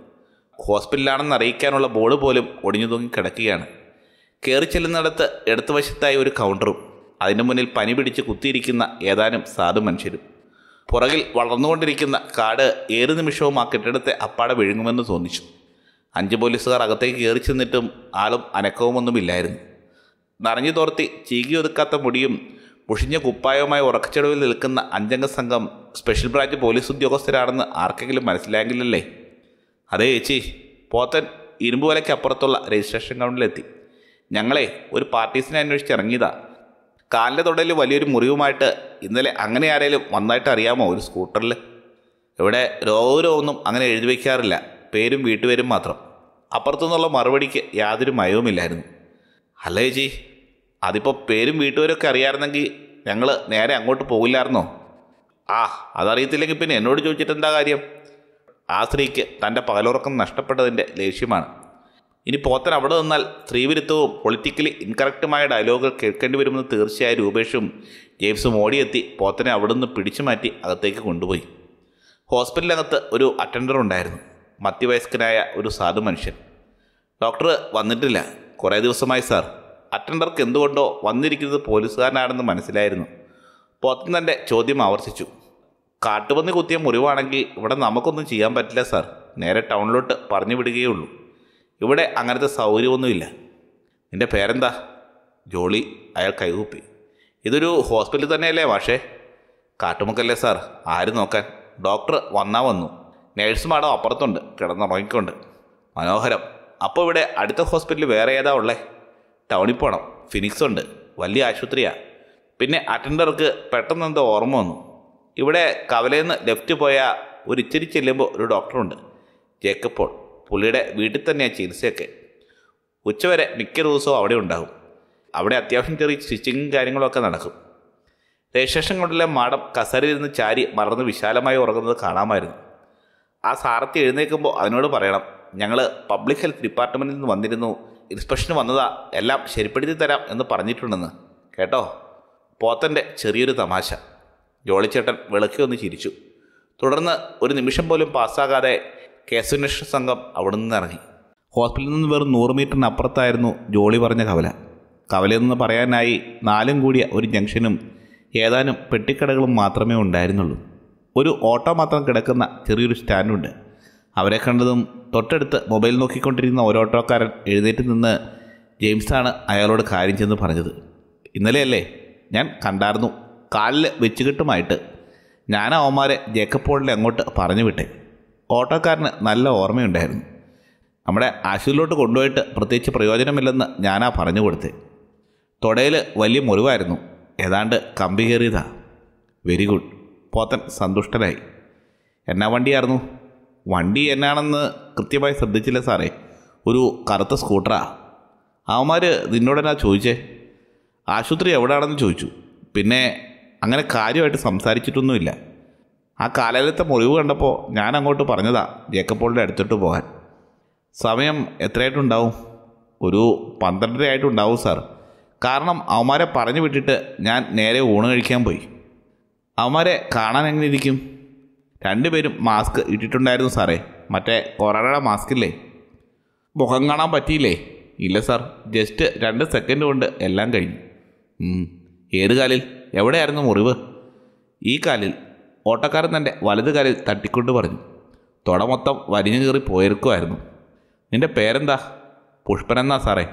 പുഷ്പനെ നാളെ സ്റ്റേഷനിലോട്ടൊന്ന് വിളിപ്പിക്കും കേട്ടോ. അതൊന്ന് എഴുതി കൊടുത്തേക്കണം. അയ്യോ പേടിക്കണ്ടടാവേ. നീ പറഞ്ഞ കാര്യം അതുപോലെ അങ്ങ് പറഞ്ഞു കൊടുത്തേച്ചാൽ മതി. നിന്റെ മെമ്മറി സമ്മതിക്കണം പുഷ്പ. മിടുക്കനാ നീ. പോത്തൻ അയാളുടെ തോളിലൊന്ന് പിടിച്ചമർത്തി. ഓട്ടോക്കാരന് സന്തോഷമായി. ഡോക്ടർ ജേക്കബ് പോളിന്റെ വീട് കവലയിൽ നിന്നാൽ തന്നെ കാണാമായിരുന്നു. ആ പ്രദേശത്ത് ആകെ ഉണ്ടായിരുന്ന ഒരു ടെറസ് വീടാണ്. റോഡിന് വീട് കുറവായതിനാൽ വാഹനം അവിടെ തന്നെ പാർക്ക് ചെയ്തിട്ട് അവർ നടപ്പാരംഭിച്ചു. റോഡ് നിലപ്പിൽ നിന്നും ഒരല്പം താഴെയാണ് ഡോക്ടറുടെ ഓഫീസ്. വീതി കുറഞ്ഞ ചെറിയൊരു ഗേറ്റ് കാണാമായിരുന്നു. അവിടേക്ക് ഇറങ്ങുന്ന നടക്കല്ലുകളിലടക്കം രോഗികൾ ഇരിക്കുകയാണ്. കെട്ടിടത്തിന്റെ വലതുവശത്തായി നല്ല ഉയരത്തിൽ ഒരു മാവ് പടർന്നിരുന്നു. അതിന്റെ തടിച്ച കൊമ്പിൽ ഉറപ്പിച്ചിരിക്കുന്ന സി സി ടി വി ക്യാമറയാണ് പോലീസുകാർ ആദ്യം ശ്രദ്ധിച്ചത്. കയറി ചെല്ലുന്ന ഹാളിൽ നിറയെ കസാരകൾ ഇട്ടിട്ടുണ്ട്. അവിടെയും പേഷ്യൻസ് നിറഞ്ഞിരിക്കുന്നു. അവിടെയും ഉണ്ടായിരുന്നു ഒരു ക്യാമറ. നേരെ അകത്തേക്ക് കയറി ചെന്ന പോലീസ് സംഘത്തെ ശുഭ്രവസ്ത്രധാരിയായ ഒരു പെൺകുട്ടി തടഞ്ഞു. ടോക്കൺ എടുക്കണം കേട്ടോ. അഥവാ എടുത്താലും ഇന്ന് കണ്ട് തീർക്കാൻ പറ്റുമെന്ന് തോന്നില്ല. പനി സീസണാ ആ പെൺകുട്ടി പുഞ്ചിരിയോടെ അറിയിച്ചു. ഞങ്ങൾ പോലീസുകാരാ. ജെയിംസ് അവരെ ഭയപ്പെടുത്താതെ ഭംഗിയായി പുഞ്ചിരിച്ചുകൊണ്ട് ഐഡന്റി കാർഡ് എടുത്തു കാണിച്ചു. ഡോക്ടറോടൊന്ന് സംസാരിക്കാനുണ്ട്. വേഗം തീർത്ത് പൊയ്ക്കോളാം. ഞെട്ടിപ്പോയ നേഴ്സ് ഒരു നിമിഷം അവരെ തുറച്ചു നോക്കി. അതിനുശേഷം മറുപടിയൊന്നും പറയാതെ അകത്തേക്ക് ഓടിക്കേറിപ്പോയി. രണ്ട് മിനിറ്റുകൾ പോലും എടുത്തില്ല. അകത്തുണ്ടായിരുന്ന പേഷ്യൻസിനൊപ്പം ഡോക്ടർ ജേക്കബ് പോൾ പുറത്തേക്ക് ഇറങ്ങി വന്നു. വരൂ അകത്തേക്ക് ഇരിക്കാം. അദ്ദേഹത്തിന്റെ നെറ്റിയൊളിഞ്ഞു കൺസിറ്റിംഗ് റൂമിലെ കസേരയിൽ പോത്തൻ പരിസ്ഥിതി നിരീക്ഷണം നടത്തി. അവിടെയുമുണ്ട് ഒരു ക്യാമറ ഈ സി സി ടി വി ഒക്കെ വർക്കിംഗ് കണ്ടീഷനിലാണോ ഡോക്ടർ പോത്തന്റെ ആദ്യ ചോദ്യം അതായിരുന്നു. അതേലോ ഒക്കെ മൊബൈലിലുണ്ട് ഡോക്ടർ മൊബൈൽ അൺലോക്ക് ചെയ്തു. ഓക്കെ ഞങ്ങൾക്ക് വളരെ ഇമ്പോർട്ടന്റ് ആയിട്ടുള്ള ഒരു വിവരം അറിയണം. പോത്തൻ മുമ്പോട്ടൊന്ന് ആഞ്ഞിരുന്നു കൊണ്ട് അതീവ ഗൗരവത്തിലാണ് ബാക്കി പറഞ്ഞത്. ഡോക്ടറും മൊഴി ഞങ്ങൾക്ക് ഒരു പ്രധാന വരിത്തിരിവാകാൻ സാധ്യതയുണ്ട്. അതുകൊണ്ട് പരമാവധി ആലോചിച്ച് കൃത്യമായി മറുപടി തരണം ഞങ്ങൾക്ക്. എനിക്ക് അറിയാവുന്നതാണെങ്കിൽ തീർച്ചയായിട്ടും. ഒരു ദീർഘശ്വാസത്തിന് ശേഷമാണ് പോത്തൻ ആ സുപ്രധാന കാര്യം ചോദിച്ചത്. ഇന്നലെ പകൽ ഏതാണ്ട് പന്ത്രണ്ട് മുപ്പതിന് രണ്ട് മനുഷ്യർ ഇവിടെ എത്തിയിട്ടുണ്ട്. ചികിത്സയ്ക്ക് വന്നതാണ് അവരാരാണെന്നുള്ളതാണ് നമ്മുടെ ചോദ്യം. ഒരുത്തന്റെ കാലിൽ നല്ല നീളത്തിലൊരു മുറിവുണ്ടായിരുന്നു. കാട്ടുപന്നി ആക്രമിച്ചതാണ്. മറ്റവൻ ഞാൻ പറഞ്ഞില്ലേ ഡോക്ടർ ഉറക്കെ ചിരിച്ചുകൊണ്ട് നേഴ്സിനെ നോക്കി. ഞാൻ ഇന്നലെ നിന്നോട് പറഞ്ഞില്ലേ അത് കാട്ടുപന്നി കുത്തിയതാണെന്ന്? ചിരിയടക്കി പോത്തിന് നേരെ തിരിഞ്ഞ ഡോക്ടർ സംഭവം വിവരിച്ചു. താങ്കൾ പറഞ്ഞതുപോലെ ഇന്നലെ രണ്ടുപേർ ഇവിടെ വന്നിരുന്നു. ഒരുത്തന്റെ കാലിൽ നല്ല നീളത്തിൽ ഏതാണ്ട് ഒന്നര ഇഞ്ച് ആഴത്തിലുള്ള മുറിവുണ്ടായിരുന്നു. സ്കൂട്ടർ അപകടമുണ്ടായപ്പോൾ റോഡ് സൈഡിൽ കിടന്നൊരു കമ്പി കുത്തിക്കേറിയതാണെന്നാണ് പറഞ്ഞത്. പക്ഷേ മുറിവിന്റെ സ്വഭാവം കണ്ടപ്പോൾ തന്നെ എനിക്ക് മനസ്സിലായിരുന്നു. വണ്ടർഫുൾ പോത്തൻ ഒന്ന് ചിരിച്ചു. എന്നിട്ട് അവന്മാരെ എന്ത് ചെയ്തു? അവന്മാരെ എന്ത് ചെയ്യാൻ? അത്രയും വലിയ മുറിവൊന്നും ചുമ്മാ ഡ്രസ്സ് ചെയ്തിട്ട് കാര്യമില്ല. കാലിന്റെ തുടയിലാണ് മുറിവ്. എപ്പോഴും ഇങ്ങനെ അനയിക്കൊണ്ടിരിക്കുന്ന മസിലല്ലേ? എങ്ങനെയായാലും മുറിവ് ഉണങ്ങില്ല. സ്റ്റിച്ചിട്ടേ പറ്റുമെന്ന് ഞാൻ പറഞ്ഞു. പക്ഷേ അവനത് സമ്മതിച്ചില്ല. കൂടെയുള്ളവൻ ഒരുപാട് നിർബന്ധിക്കുന്നുണ്ടായിരുന്നു. പക്ഷേ ഡോക്ടർ ഒന്ന് പുഞ്ചിരിച്ചു. കക്ഷിക്ക് ഇഞ്ചക്ഷൻ പേടിയാണ്. ലിസി സിറിഞ്ഞിന്റെ പാക്കറ്റ് പൊട്ടിച്ചപ്പോൾ തന്നെ ഇവിടെ കിടന്ന് വല്ലാതെ ബഹളം തുടങ്ങി. ഭയങ്കരമായിട്ട് വയലന്റായി മരണോപ്രാളം പോലെ ട്രിപ്പാനോ ഫോബിയ രൂപേഷ് മന്ത്രിച്ചു. അതുതന്നെ ഞാൻ വളരെ അപൂർവമായിട്ടേ കണ്ടിട്ടുള്ളൂ. പക്ഷേ അതൊരു ജെനുവിൻ മെഡിക്കൽ കണ്ടീഷനാണ് നമ്മളത് റെസ്പെക്റ്റ് ചെയ്യണമല്ലോ. പോത്തൻ പല്ലുകൾ ഞെരിക്കുന്ന ശബ്ദം കേട്ടപ്പോൾ ഡോക്ടർ ഞെട്ടി മുഖമുയർത്തി. പൊട്ടി മലരുകൾ അയാളുടെ ആത്മകഥം ഉച്ചത്തിലായി. വെറുമൊരു ഇഞ്ചക്ഷൻ പേടിയുള്ള പന്ന മോനാണ് ആ ഇത്തിരിയില്ലാത്ത കൊച്ചിനെ. പോത്തന്റെ വിരലുകൾ കസാരയുടെ ഹാൻഡിൽ ഇറുക്കി. എന്നാ സാർ എന്താ വിഷയം? എന്നിട്ട് അവന്മാരെങ്ങോട്ട് പോയി? പോത്തന്റെ മറുപടി മറ്റൊരു ചോദ്യമായിരുന്നു. സ്റ്റിച്ചിടാതെ വെറുതെ ഡ്രസ്സ് ചെയ്തില്ല എന്ന് ഞാൻ പറഞ്ഞു. ചുമ്മാ ഞാൻ പുലിവാലി പിടിക്കേണ്ടി വരില്ലേ? നേരെ ടൗണിൽ വല്ല ഹോസ്പിറ്റലിലേക്ക് കൊണ്ടുപോയി മയക്കിയിട്ട് വല്ലതും ചെയ്തോളാം പറഞ്ഞ് എണീപ്പിച്ച് വിട്ടു. അത്രേ ഉണ്ടായുള്ളൂ. ഓക്കെ ഞങ്ങൾക്ക് ഇന്നലെ ആ സമയത്ത് C C T V footage ഒന്ന് എടുക്കണം. ആ ഫോണൊന്ന് കൊടുത്താൽ മതി. രൂപേഷ് ഡൗൺലോഡ് ചെയ്ത് കട്ട് ചെയ്ത് എടുത്തോളും. ആയിക്കോട്ടെ സാർ പോത്തന്റെ ടോണിൽ നിന്നും എന്തോ സാരമായ വിഷയമാണിതെന്ന് ഡോക്ടർക്ക് മനസ്സിലായി കഴിഞ്ഞിരുന്നു. ഓക്കെ അവരിവിടെ വന്നതിന് ശേഷം ഡോക്ടറോട് പറഞ്ഞതായിട്ടുള്ള സകല കാര്യങ്ങളും ഒന്ന് ഓർഡറിൽ പറയാൻ പറ്റുമോ? ജെയിംസ് ചോദിച്ചു. സംസാരമൊന്നും അങ്ങനെ കാര്യമായിട്ട് നടന്നില്ല സാർ നമ്മൾ ഈ സ്കൂളിൽ പഠിച്ച ഹിന്ദി കൊണ്ടുള്ള അഭ്യാസമല്ലേ? ഹിന്ദിയോ? എല്ലാവരും ഒരുമിച്ചാണ് ചോദിച്ചത്. യെസ് രണ്ടുപേരും നോർത്ത് ഇന്ത്യൻസ് ആയിരുന്നു സാർ അത് അറിയില്ലായിരുന്നോ? ഡോക്ടർ ആശ്ചര്യപ്പെട്ടു. അതൊരു വിലപ്പെട്ട അറിവായിരുന്നു പോലീസുകാർക്ക്. ഒന്നും മിണ്ടാതെ പരസ്പരം നോട്ടങ്ങൾ കൈമാറിയ അന്വേഷണ സംഘത്തെ ഡോക്ടർ അമ്പരപ്പോടെയാണ് വീക്ഷിച്ചത്. എന്നാ സാർ ഇതെന്നാ ഇടപാട്? ഏറെ നേരത്തെ നിശബ്ദതയ്ക്ക് ശേഷം വർഗീസാണ് ആ ചോദ്യത്തിന് ഉത്തരം പറഞ്ഞത്. അവന്മാർ ആരായിരുന്നു കേട്ട ഡോക്ടർക്ക് സഹിക്കില്ല. അത്രയും കൈമരുങ്ങിന് ആ പട്ടിനാരികളെ കിട്ടിയിട്ട് ചെയ്യാൻ പറ്റില്ലെന്നോർത്ത് നിങ്ങൾ ചിലപ്പോൾ ഹെവി ഡിപ്രഷനായി പോകും ഡോക്ടർ. മത്തായിച്ചറയിലെ കേസാണോ? ഡോക്ടറുടെ ശ്വാസോച്ഛ്വാസം ദ്രുതഗതിയിലായിരുന്നു. പോത്തൻ തലകുലുക്കിയതും ഷിറ്റ് ഡോക്ടർ ഇരുകൈകളും തലയിലമർത്തി തരിച്ചിരുന്നു പോയി. അതൊന്നും പറഞ്ഞിട്ട് കാര്യമില്ല. നമുക്ക് അടുത്ത പരിപാടി നോക്കാം ഡോക്ടർ. എനിക്ക് ക്യാമറയുടെ പാസ്വേഡ് തരുമോ ഞാൻ ലാപ്ടോപ്പിൽ നോക്കിക്കോളാം. അതാവുമ്പോൾ ഇച്ചിരിയുടെ വലുപ്പത്തിൽ കാണാമല്ലോ. ഷുവർ ഡോക്ടർ എന്തിനും തയ്യാറായിരുന്നു. ഇദ്ദേഹം ഇത് ശരിയാക്കി കഴിയുമ്പോഴേക്കും ബാക്കിയുള്ളവർ വേണമെങ്കിൽ വീട്ടിൽ ചെന്നൊരു ഫ്രഷ് ആയിക്കോ. നിങ്ങളെ കണ്ടാൽ പ്രേതങ്ങളെപ്പോലെയുണ്ട്. No offence thank you Pothan എഴുന്നേറ്റ് ഡോക്ടറുടെ കൈ കവർന്നു. ഭംഗിവാക്ക് പറഞ്ഞതാണെന്നറിയാം. പക്ഷേ സൂചി കയറ്റാൻ ഇത്തിരി ഗ്യാപ്പ് തന്നാൽ അതിലെ ഒട്ടക സവാരി നടത്തിയാണ് ശീലം. ഒരു പ്രശ്നവുമില്ല വീട്ടിൽ ആരുമില്ല. ഇപ്പോൾ ഫാമിലിയൊക്കെ അങ്ങ് ടൗണിലെ ഫ്ലാറ്റിലാണ് പിന്നെ എല്ലാവരും പെട്ടെന്നായിരുന്നു. നാലുപേരും പെട്ടെന്ന് കുളിച്ച് വൃത്തിയായി പുതിയ വേഷം ധരിച്ച് മടങ്ങിയപ്പോഴേക്കും Rupesh C C T V ദൃശ്യങ്ങളുമായി തയ്യാറെടുത്തിരുന്നു. ഇന്നലെ പന്ത്രണ്ട് നാൽപ്പത്തിരണ്ടിന് രൂപേഷ് പുറത്തെ മാവിൽ ഉറപ്പിച്ചിരിക്കുന്ന ക്യാമറ തുറന്നു. ഒരു ബ്ലാക്ക് ആക്ടിവ സ്കൂട്ടറിൽ മാസ്ക് ധരിച്ച രണ്ട് മനുഷ്യർ കടന്നു വന്ന് റോഡരികിൽ പാർക്ക് ചെയ്ത് ഗേറ്റ് കടന്ന് അകത്തേക്ക് കയറുന്ന ദൃശ്യമായിരുന്നു. നല്ല റെസൊല്യൂഷനിൽ കടച്ചിത്രങ്ങൾ റെക്കോർഡ് ചെയ്യാൻ ശേഷിയുള്ളതായിരുന്നു ഡോക്ടറുടെ C C T V system റോഡരികിലെ മതിലിലേക്ക് ചാരി വെച്ച സ്കൂട്ടറിന്റെ നമ്പർ പ്ലേറ്റ് വ്യക്തമാണ്. പക്ഷെ രൂപേഷിന്റെ മുഖത്ത് വലിയ ആവേശമൊന്നും കാണാനില്ലായിരുന്നു. നമ്പർ ഫേക്ക ഇതൊരു ടാറ്റ ഇൻഡിക്കക്കാരന്റെ നമ്പറാണ് തൊടുപുഴ രജിസ്ട്രേഷൻ എല്ലാവരും നിരാശരായി.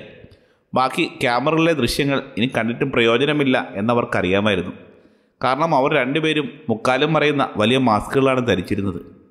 ഡോക്ടറുടെ മുറിയിലെത്തിയിട്ടും അവർ ആ മാസ്ക് അഴിച്ചിരുന്നില്ല. മാസ്ക് ഇട്ട് വരുന്നത് ഞാൻ സാധാരണ പ്രോത്സാഹിപ്പിക്കാറേ ഉള്ളൂ സാർ. ഡോക്ടറുടെ ശബ്ദം വല്ലാതെ താഴ്ന്നിരുന്നു. എല്ലാവരും നിശബ്ദരായി. നിരാശരായി തലകുമ്പിട്ട് നിൽക്കുകയാണ്. ഒടുവിൽ അതൊക്കെ വിട്. ഒന്നുമില്ലേലും അവന്മാർ ഈ നാട്ടുകാരല്ലെന്ന് മനസ്സിലായല്ലോ. അതൊരു നിർണായക വിവരമാണ്. നമുക്ക് അടുത്ത പണി നോക്കാം. ചുമ്മാ ഡോക്ടറുടെ സമയം ചുറ്റിക്കേണ്ട. പോത്തൻ എഴുന്നേറ്റു. അതിലൊരുത്തന്റെ കയ്യിൽ ഒരു ചരട് കെട്ടിയിട്ടുള്ളതായിട്ട് വല്ലതും ശ്രദ്ധിച്ചിരുന്നോ? ആ ചോദ്യം വർഗീസിന്റേതായിരുന്നു അതെന്നാ ചോദ്യമാണ് മാൻ. ചരട് നമ്മുടെ കയ്യിലിരിക്കുകയല്ലേ? ആൽബി വർഗീസിന്റെ തലയ്ക്കൊരു തട്ട് കൊടുത്തു. അത് ശരിയാണല്ലോ. വർഗീസിന്റെ മുഖത്തൊരു ഇളിപ്പിച്ചിരി പ്രത്യക്ഷപ്പെട്ടു. ഉറങ്ങാണെന്ന് നടന്ന് തലയ്ക്കകത്തൊക്കെ ആകെ പൊടി പിടിച്ച മാതിരിയായി. ആ മുറിവ് പറ്റിയ പുള്ളിക്കാരന്റെ കയ്യിൽ ഒരു ചരടുണ്ടായിരുന്നു. നേഴ്സിന് ഓർമ്മ വന്നു. ദേ ഇവിടെയായിട്ട് കുറേ കറുത്ത കരട് കിട്ടിയിരുന്നു. അവൾ കൈ നിവർത്തി കാണിച്ചു കൊടുത്തു. ഒരു തലയോട്ടിയൊക്കെ ആയിട്ട്? അതൊന്നും ഞാൻ ശ്രദ്ധിച്ചില്ല സാർ. Okay doctor. തിരക്കൊക്കെ കഴിയുമ്പോൾ ഇതൊന്ന് സ്റ്റേറ്റ്മെന്റ് ആക്കി തരേണ്ടി വരും കേട്ടോ. ഈ കുട്ടിയുടെ മൊഴിയും കൂടി വേണം. അപ്പോൾ ഞങ്ങൾ ഇറങ്ങട്ടെ. അത് ശരി നിങ്ങളുടെ കാര്യം കഴിഞ്ഞല്ലോ അല്ലേ? എന്നെ എന്താ തവിട് കൊടുത്ത് വാങ്ങിച്ചതാണോ? രൂപേഷ് നീരസപ്പെട്ടു. ഞാനും ഒന്ന് പോയി ഫ്രഷായിട്ട് വരട്ടെ. തുടർന്ന് ഏതാണ്ട് ഇരുപത് മിനിറ്റുകൾക്ക് ശേഷം സംഘം തിരികെ തങ്ങളുടെ വാഹനത്തിലെത്തി. ഇനി എന്താ സാർ? എല്ലാവരുടെയും പ്രതീക്ഷ പോത്തനിലാണ്. പോത്തന്റെ പ്രതീക്ഷയാകട്ടെ രൂപേഷിലും. ഈ സ്കൂട്ടർ ഇവിടെയുള്ളത് തന്നെയാണ്. അവർ സി സി ടി വി ഫുട്ടേജിൽ നിന്നും ഇരുചക്ര വാഹനത്തിന്റെ ഒരു സ്ക്രീൻഷോട്ട് എടുത്ത് എൻലാർജ് ചെയ്ത് ഓരോ ഇഞ്ചും പരിശോധിക്കുന്ന തിരക്കിലാണ്. ഈ ഡിസൈനിൽ ഒരു സ്റ്റിക്കർ കണ്ടോ? അവൻ സ്ക്രീനിലേക്ക് ചൂണ്ടിക്കാണിച്ചു. E S U S O V O U. ഏതാനും ഇംഗ്ലീഷ് അക്ഷരങ്ങൾ ക്രമം തെറ്റി കിടക്കുന്നത് പോലെ തോന്നി. അതിനോട് തൊട്ട് തന്നെ ഒരു കൊന്തയുടെ ചിത്രവും വ്യക്തമായി കാണാമായിരുന്നു. ജീസസ് ലവ്സ് യു എന്നായിരിക്കണം സ്റ്റിക്കർ. അക്ഷരങ്ങൾ കുറേ കൊഴിഞ്ഞു പോയതാ. അങ്ങനെ ഒരു സ്റ്റിക്കർ എന്തായാലും അമറ വണ്ടിയിൽ വരാൻ വഴിയില്ലല്ലോ. പോത്തൻ ആലോചനയിലാണ് അതാ ഞാൻ പറഞ്ഞേ വണ്ടി ഇവിടുത്തെയാണ്. രൂപേഷ് ഉറപ്പിച്ച് പറഞ്ഞു. വേറെ വല്ലതും ഉണ്ടോ? നോക്കട്ടെ. രൂപേഷ് വീണ്ടും ഇമേജ് പാൻ ചെയ്ത് പരിശോധന തുടർന്നു പുറകിലെ സ്റ്റെപ്പിനിയുടെ ഭാഗത്തു നിന്നും തുടങ്ങിയ പരിശോധനയാണ് പകുതിയായിട്ടേ ഉണ്ടായിരുന്നുള്ളൂ. പെട്ടെന്ന് അവന്റെ കണ്ണുകൾ വിടർന്നു. ഒരു ഇഗ്നീഷ്യനിലുണ്ട്. അവൻ ആവേശത്തോടെ അങ്ങോട്ട് സൂം ചെയ്തു.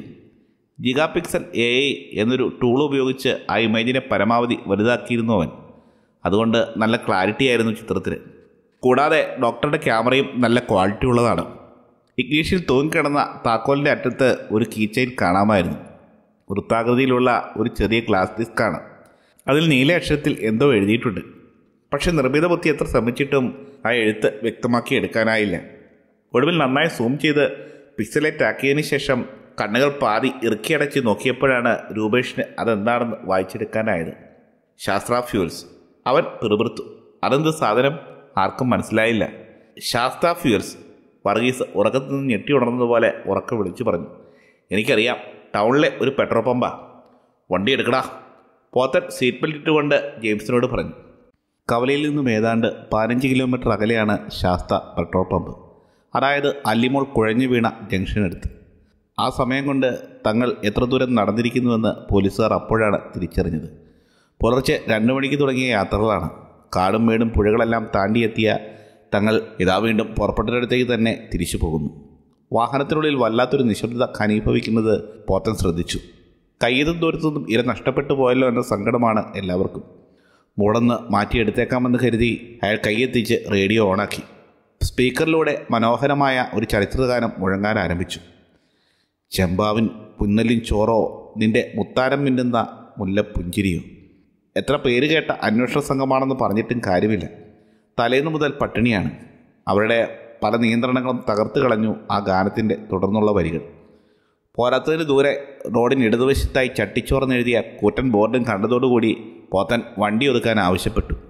മലയോര ഹൈവേയോട് ചേർന്ന് വിശാലമായ പാടശേഖരത്തിന് വരമ്പിൽ പണിതീർത്തിരിക്കുന്ന മനോഹരമായ ഇരുതിര കെട്ടിടമായിരുന്നു റെസ്റ്റോറന്റ് അതിന്റെ മുകളിലെ നിലയിൽ ബാൽക്കണിയിലിരുന്ന പോത്തനും കൂട്ടരും പലതരം ചട്ടിച്ചോറുകൾ ഓർഡർ ചെയ്തു.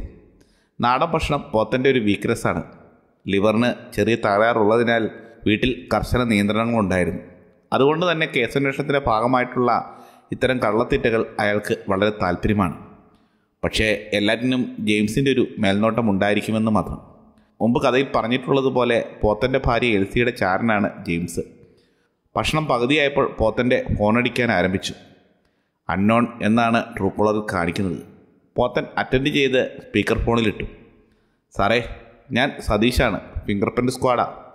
പറയടോ ഇവിടുന്നൊരു അറുപത്തഞ്ചിൽ കൂടുതൽ ഫ്രഷ് പ്രിന്റ് കിട്ടിയിട്ടുണ്ട് സാർ. ഇനി നോക്കാൻ ഞങ്ങളുടെ കയ്യിൽ സ്ലൈഡില്ല. പഴയ പബ്ലിക് ബിൽഡിങ്ങിലെ സാർ? പ്രിന്റ് കൊണ്ടൊന്നും വലിയ പ്രയോജനം ഉണ്ടാകുമെന്ന് തോന്നില്ല. ഈ നാട്ടുകാരുടെ മൊത്തം പ്രിന്റുകൾ കാണും ഇതിനകത്ത്. ലേറ്റസ്റ്റ് ആയിട്ടുള്ള പ്രിന്റുകൾ നോക്കൂ. അതിൽ രണ്ട് പേരുണ്ട്. അതിലൊന്ന് സെറ്റപ്പ് ചെയ്തെടുക്കണം. ആ കയറിപ്പോകുന്ന വഴിക്കുള്ള സ്റ്റെപ്പിന്റെ ഹാൻഡ് റെയിൽ നോക്കിയില്ലേ? ഞങ്ങൾ വളരെ സൂക്ഷിച്ച് ടച്ച് ചെയ്യാതെ കയറിയതാണ് അതൊക്കെ എടുത്തിട്ടുണ്ട് സാർ. ആ തോക്കോ? തോക്കിൽ പ്രിന്റൊന്നുമില്ല സാർ. ക്ലീനായിരുന്നു വല്ല ന്യൂസും എല്ലാം ഉണ്ടെങ്കിൽ വിളിക്കേ. ഞങ്ങളും ഇവിടെ കിടന്ന് ചുറ്റുക വിളിക്കാം സാർ പിന്നെ ഇതൊക്കെ ഒന്ന് മാച്ച് ചെയ്ത് നോക്കാൻ റഫറൻസ് പ്രിന്റ് വല്ലതും ഉണ്ടോ സാർ ഉണ്ടുണ്ട് അവിടുത്തെ സ്റ്റേഷനിലൊരു ഡേവിഡ് മർഡർ കേസുണ്ട് ഒരു മിസ്റ്റർ പാറയിൽ നത്തായിയും പിന്നെ മൂന്ന് അക്കംപ്ലീഷനുമാണ് അവന്മാരുടെ പ്രിന്റുമായൊക്കെ ഒന്ന് ഒത്തു നോക്കണം. അവരുടെ പ്രിന്റ് കിട്ടണമെങ്കിൽ അതല്ലേ കോപ്പ ഞാൻ പറഞ്ഞ? സ്റ്റേഷനിൽ ചെല്ല് ഫയലിൽ കാണില്ലേ? പോത്തൻ വർഗീസിനെ നോക്കി. വർഗീസ് പ്രിന്റ് ഉണ്ട് എന്ന അർത്ഥത്തിൽ തള്ളവിരൽ ഉയർത്തിക്കാട്ടി. ഓക്കെ സാർ ഞാൻ വൈകിട്ട് വിളിക്കാം. സതീഷ് ഫോൺ കട്ട് ചെയ്തു. മത്തയ്യാൻ പാർട്ടി എന്തായാലും ഇൻവോൾവ്ഡ് ആണ്. എങ്ങനെയാണെന്ന് മാത്രം കിട്ടിയാൽ മതി. എന്തോ ഹെവി ഗൂഢാലോചനയുണ്ട് ഇതിനകത്ത്. പോത്തിന് സംശയമുണ്ടായിരുന്നില്ല. വൈദവേ ഞാൻ ഒരു കാര്യം കൂടി നിങ്ങളോട് സൂചിപ്പിക്കാൻ ആഗ്രഹിക്കുകയാണ്. രൂപേഷ് നാടകമായി തന്റെ ലാപ്ടോപ്പ് നിർത്തി. നമ്മുടെ ഈ രണ്ട് ഭീകരന്മാരും വളരെ ലൂസായിട്ടുള്ള ഷൂസാണ് ഇട്ടിരിക്കുന്നത്. അത് ഞാൻ അപ്പോൾ പറയാൻ വന്നതാണ്. അപ്പോൾ വർഗീസ് പെട്രോൾ പമ്പ് കണ്ടുപിടിച്ചു. യു മീൻ യെസ് ഫോറൻസിക് കണ്ടുപിടിച്ച അത്ര ഉയരമുള്ളവരല്ല അവർ രണ്ടുപേരും. ഈ ഫൂട്ടേജിൽ കണ്ടാലും മനസ്സിലാവും. ആവറേജ് ഹൈറ്റേ ഉള്ളൂ രണ്ടാൾക്കും. ഷടാ. എല്ലാവരും അമ്പരന്ന് പോയി. ഇവരിനി വല്ല പോലീസുകാരുമായിരിക്കുമോ വർഗീസിന്റെ സംശയം അതായിരുന്നു. എത്ര കെയർഫുള്ളാണെന്ന് നോക്കി. പോലീസാകണമെന്ന് നിർബന്ധമില്ല. പഠിച്ച കള്ളന്മാരായാലും മതി. സമാനമായ കുറ്റകൃത്യങ്ങൾ ചെയ്ത് പിടിക്കപ്പെട്ടിട്ടുണ്ടാകണം. അങ്ങനെയായാലും ഇതുമണത്തെ ഡീറ്റെയിൽസ് ഒക്കെ കിട്ടുമല്ലോ. ജെയിംസ് നിരീക്ഷിച്ചു. എന്തായാലും എല്ലാവരും വേഗം എണീക്ക്. യുവമാരങ്ങാൻ സംസ്ഥാനം വിട്ട പിന്നെ ചൊറയാ. പോത്തൻ എഴുന്നേറ്റ് കൈ കഴുകാനായി പുറപ്പെട്ടു. താഴേക്കിറങ്ങി വന്ന അവരെയും കാത്ത് പുത്തൂർ സ്റ്റേഷനിലെ ഒരു ബെലോറോ കിടപ്പുണ്ടായിരുന്നു. പോത്തിനെ കണ്ടതും ഡ്രൈവർ ചാടി ഇറങ്ങി സല്യൂട്ട് ചെയ്തു. എന്താണ് സംഭവമെന്ന് ചോദിക്കാൻ ആഞ്ഞതാണ് പോത്തൻ. പക്ഷേ അപ്പോഴേക്കും പുറകിലെ ഡോർ തുറന്ന് ആ പെൺകുട്ടി പുറത്തേക്ക് ഇറങ്ങി കഴിഞ്ഞിരുന്നു. സർ ഇതാണ് അനില. ഞാൻ നേരത്തെ പറഞ്ഞില്ലേ? വർഗീസ് പരിചയപ്പെടുത്തി. അനില സല്യൂട്ടോടുകൂടി പോത്തിനെ ഔപചാരികമായി അഭിവാദനം ചെയ്തു. വർഗീസ് കാര്യമൊക്കെ പറഞ്ഞിട്ടില്ലേ? Yes sir it's a privilege to work with you sir ദൈവമേ ഇംഗ്ലീഷുകാരിയാണല്ലോടെ. പോത്തൻ ചുണ്ട് കടിച്ച് വർഗീസിനെ നോക്കി. ഇതിനിടെ ജെയിംസും മല്ലയും തമ്മിൽ പരസ്പരം നോക്കിയതും ഇരുവരുടെയും ചുണ്ടിൽ ഒരു പുഞ്ചിരി മിന്നി മറഞ്ഞത് എല്ലാവരും ശ്രദ്ധിച്ചു. നിങ്ങൾ പരിചയക്കാരാ? പോത്തന്റെ നെറ്റിയിൽ ചുളവ് വീണു. എനിക്ക് പണ്ടൊരു കരാട്ട ചൂടെ ഉണ്ടായിരുന്നു സാർ. ജെയിംസ് സാറിനെ ഒരുപാട് വട്ടം കണ്ടിട്ടുണ്ട്. ഞാനും ബ്ലാക്ക് ബെൽറ്റാണ് യാതൊരു സങ്കോചമില്ലാതെയായിരുന്നു അനിലയുടെ മറുപടി. അതാണ് പോത്തിന് സന്തോഷം അടക്കാനായില്ല. വർഗീസിനെ കൊണ്ടുനടന്നിട്ട് അവസാനം ഒരു പ്രയോജനമുണ്ടായി. എല്ലാവരും ചിരിച്ചു. ഐശ്വര്യമായിട്ട് നമ്മുടെ വണ്ടിയിലോട്ട് കയറിക്കോ മോളെ. പോത്തൻ ഡോർ തുറന്നു കൊടുത്തു. തുടർന്ന് ഏതാണ്ട് പതിനഞ്ച് മിനിറ്റ് നേരത്തെ യാത്രയ്ക്ക് ശേഷം സംഘം സ്ഥലത്തെത്തി. ഹൈവേയോട് ചേർന്ന് തന്നെ വിശാലമായൊരു യാർഡിന്റെ ചെറിയൊരു ഭാഗം അപഹരിച്ചുകൊണ്ട് സ്ഥാപിച്ചിരിക്കുന്ന ഒരു ചെറിയ പെട്രോൾ പമ്പായിരുന്നു അത്. എട്ട് പമ്പുകൾ മാത്രമുള്ള താരതമ്യേന തിരക്ക് നന്നേ കുറഞ്ഞ ഒരു സ്ഥാപനം. ഭാരത് പെട്രോളിയം എന്ന കൂറ്റൻ ബോർഡല്ലാതെ ശാസ്ത എന്ന പേരിൽ അവിടെ യാതൊന്നും ഉണ്ടായിരുന്നില്ല. പോത്തൻ സംശയത്തോടെ വർഗീസിനെ നോക്കി. പേടിക്കേണ്ട ഇത് തന്നെയാ സ്ഥലം. ഗൂഗിൾ പേയിൽ കാണിക്കുന്ന പേരാ ശാസ്ത ഫ്യൂൽസ് എന്ന്. ആ ഓക്കെ. പോത്തൻ വണ്ടി ഒതുക്കാൻ ആകെ കാണിച്ചു. ഒരു കാര്യം എല്ലാവരും ശ്രദ്ധിക്കുക. ഇതിന്റെ ഓണർ ചെറിയൊരു പയ്യനാണ്. ഇരുപത് വയസ്സ് പോലും കാണില്ല. വിപിനെന്നാണ് പേര്. ഇരുപത് വയസ്സോ? യെസ് അവന്റെ അച്ഛന്റേതാണ് പമ്പ്. പക്ഷേ ഇപ്പോൾ അങ്ങേര് സ്ട്രോക്ക് വന്ന് കിടപ്പില്ല. ഇവൻ ടേക്ക് ഓവർ ചെയ്തതാ. അതൊന്നും കൂടെ പ്രസക്തമല്ല. പോത്തൻ പെറുപെറുത്തുകൊണ്ട് ഡോർ തുറക്കാൻ തുടങ്ങിയപ്പോൾ തോളിൽ വർഗീസിന്റെ കൈത്തല മറന്നു സാർ ഞാൻ മുഴുവൻ പറയട്ടെ? ഈ പയ്യനൊരു ചെറിയ പ്രശ്നമുണ്ട്. പോത്തൻ വർഗീസിന് നേരെ തിരിഞ്ഞു. ആൾക്ക് ചെറിയ ബുദ്ധിമാന്യമുണ്ട് പക്ഷേ വർഗീസ് അതങ്ങനെ പറഞ്ഞ് ഫലിപ്പിക്കണമെന്നറിയാതെ കുഴങ്ങുകയാണ്. പക്ഷേ പക്ഷേ ഒടുക്കത്തെ സ്മാർട്ടാണ് കക്ഷി.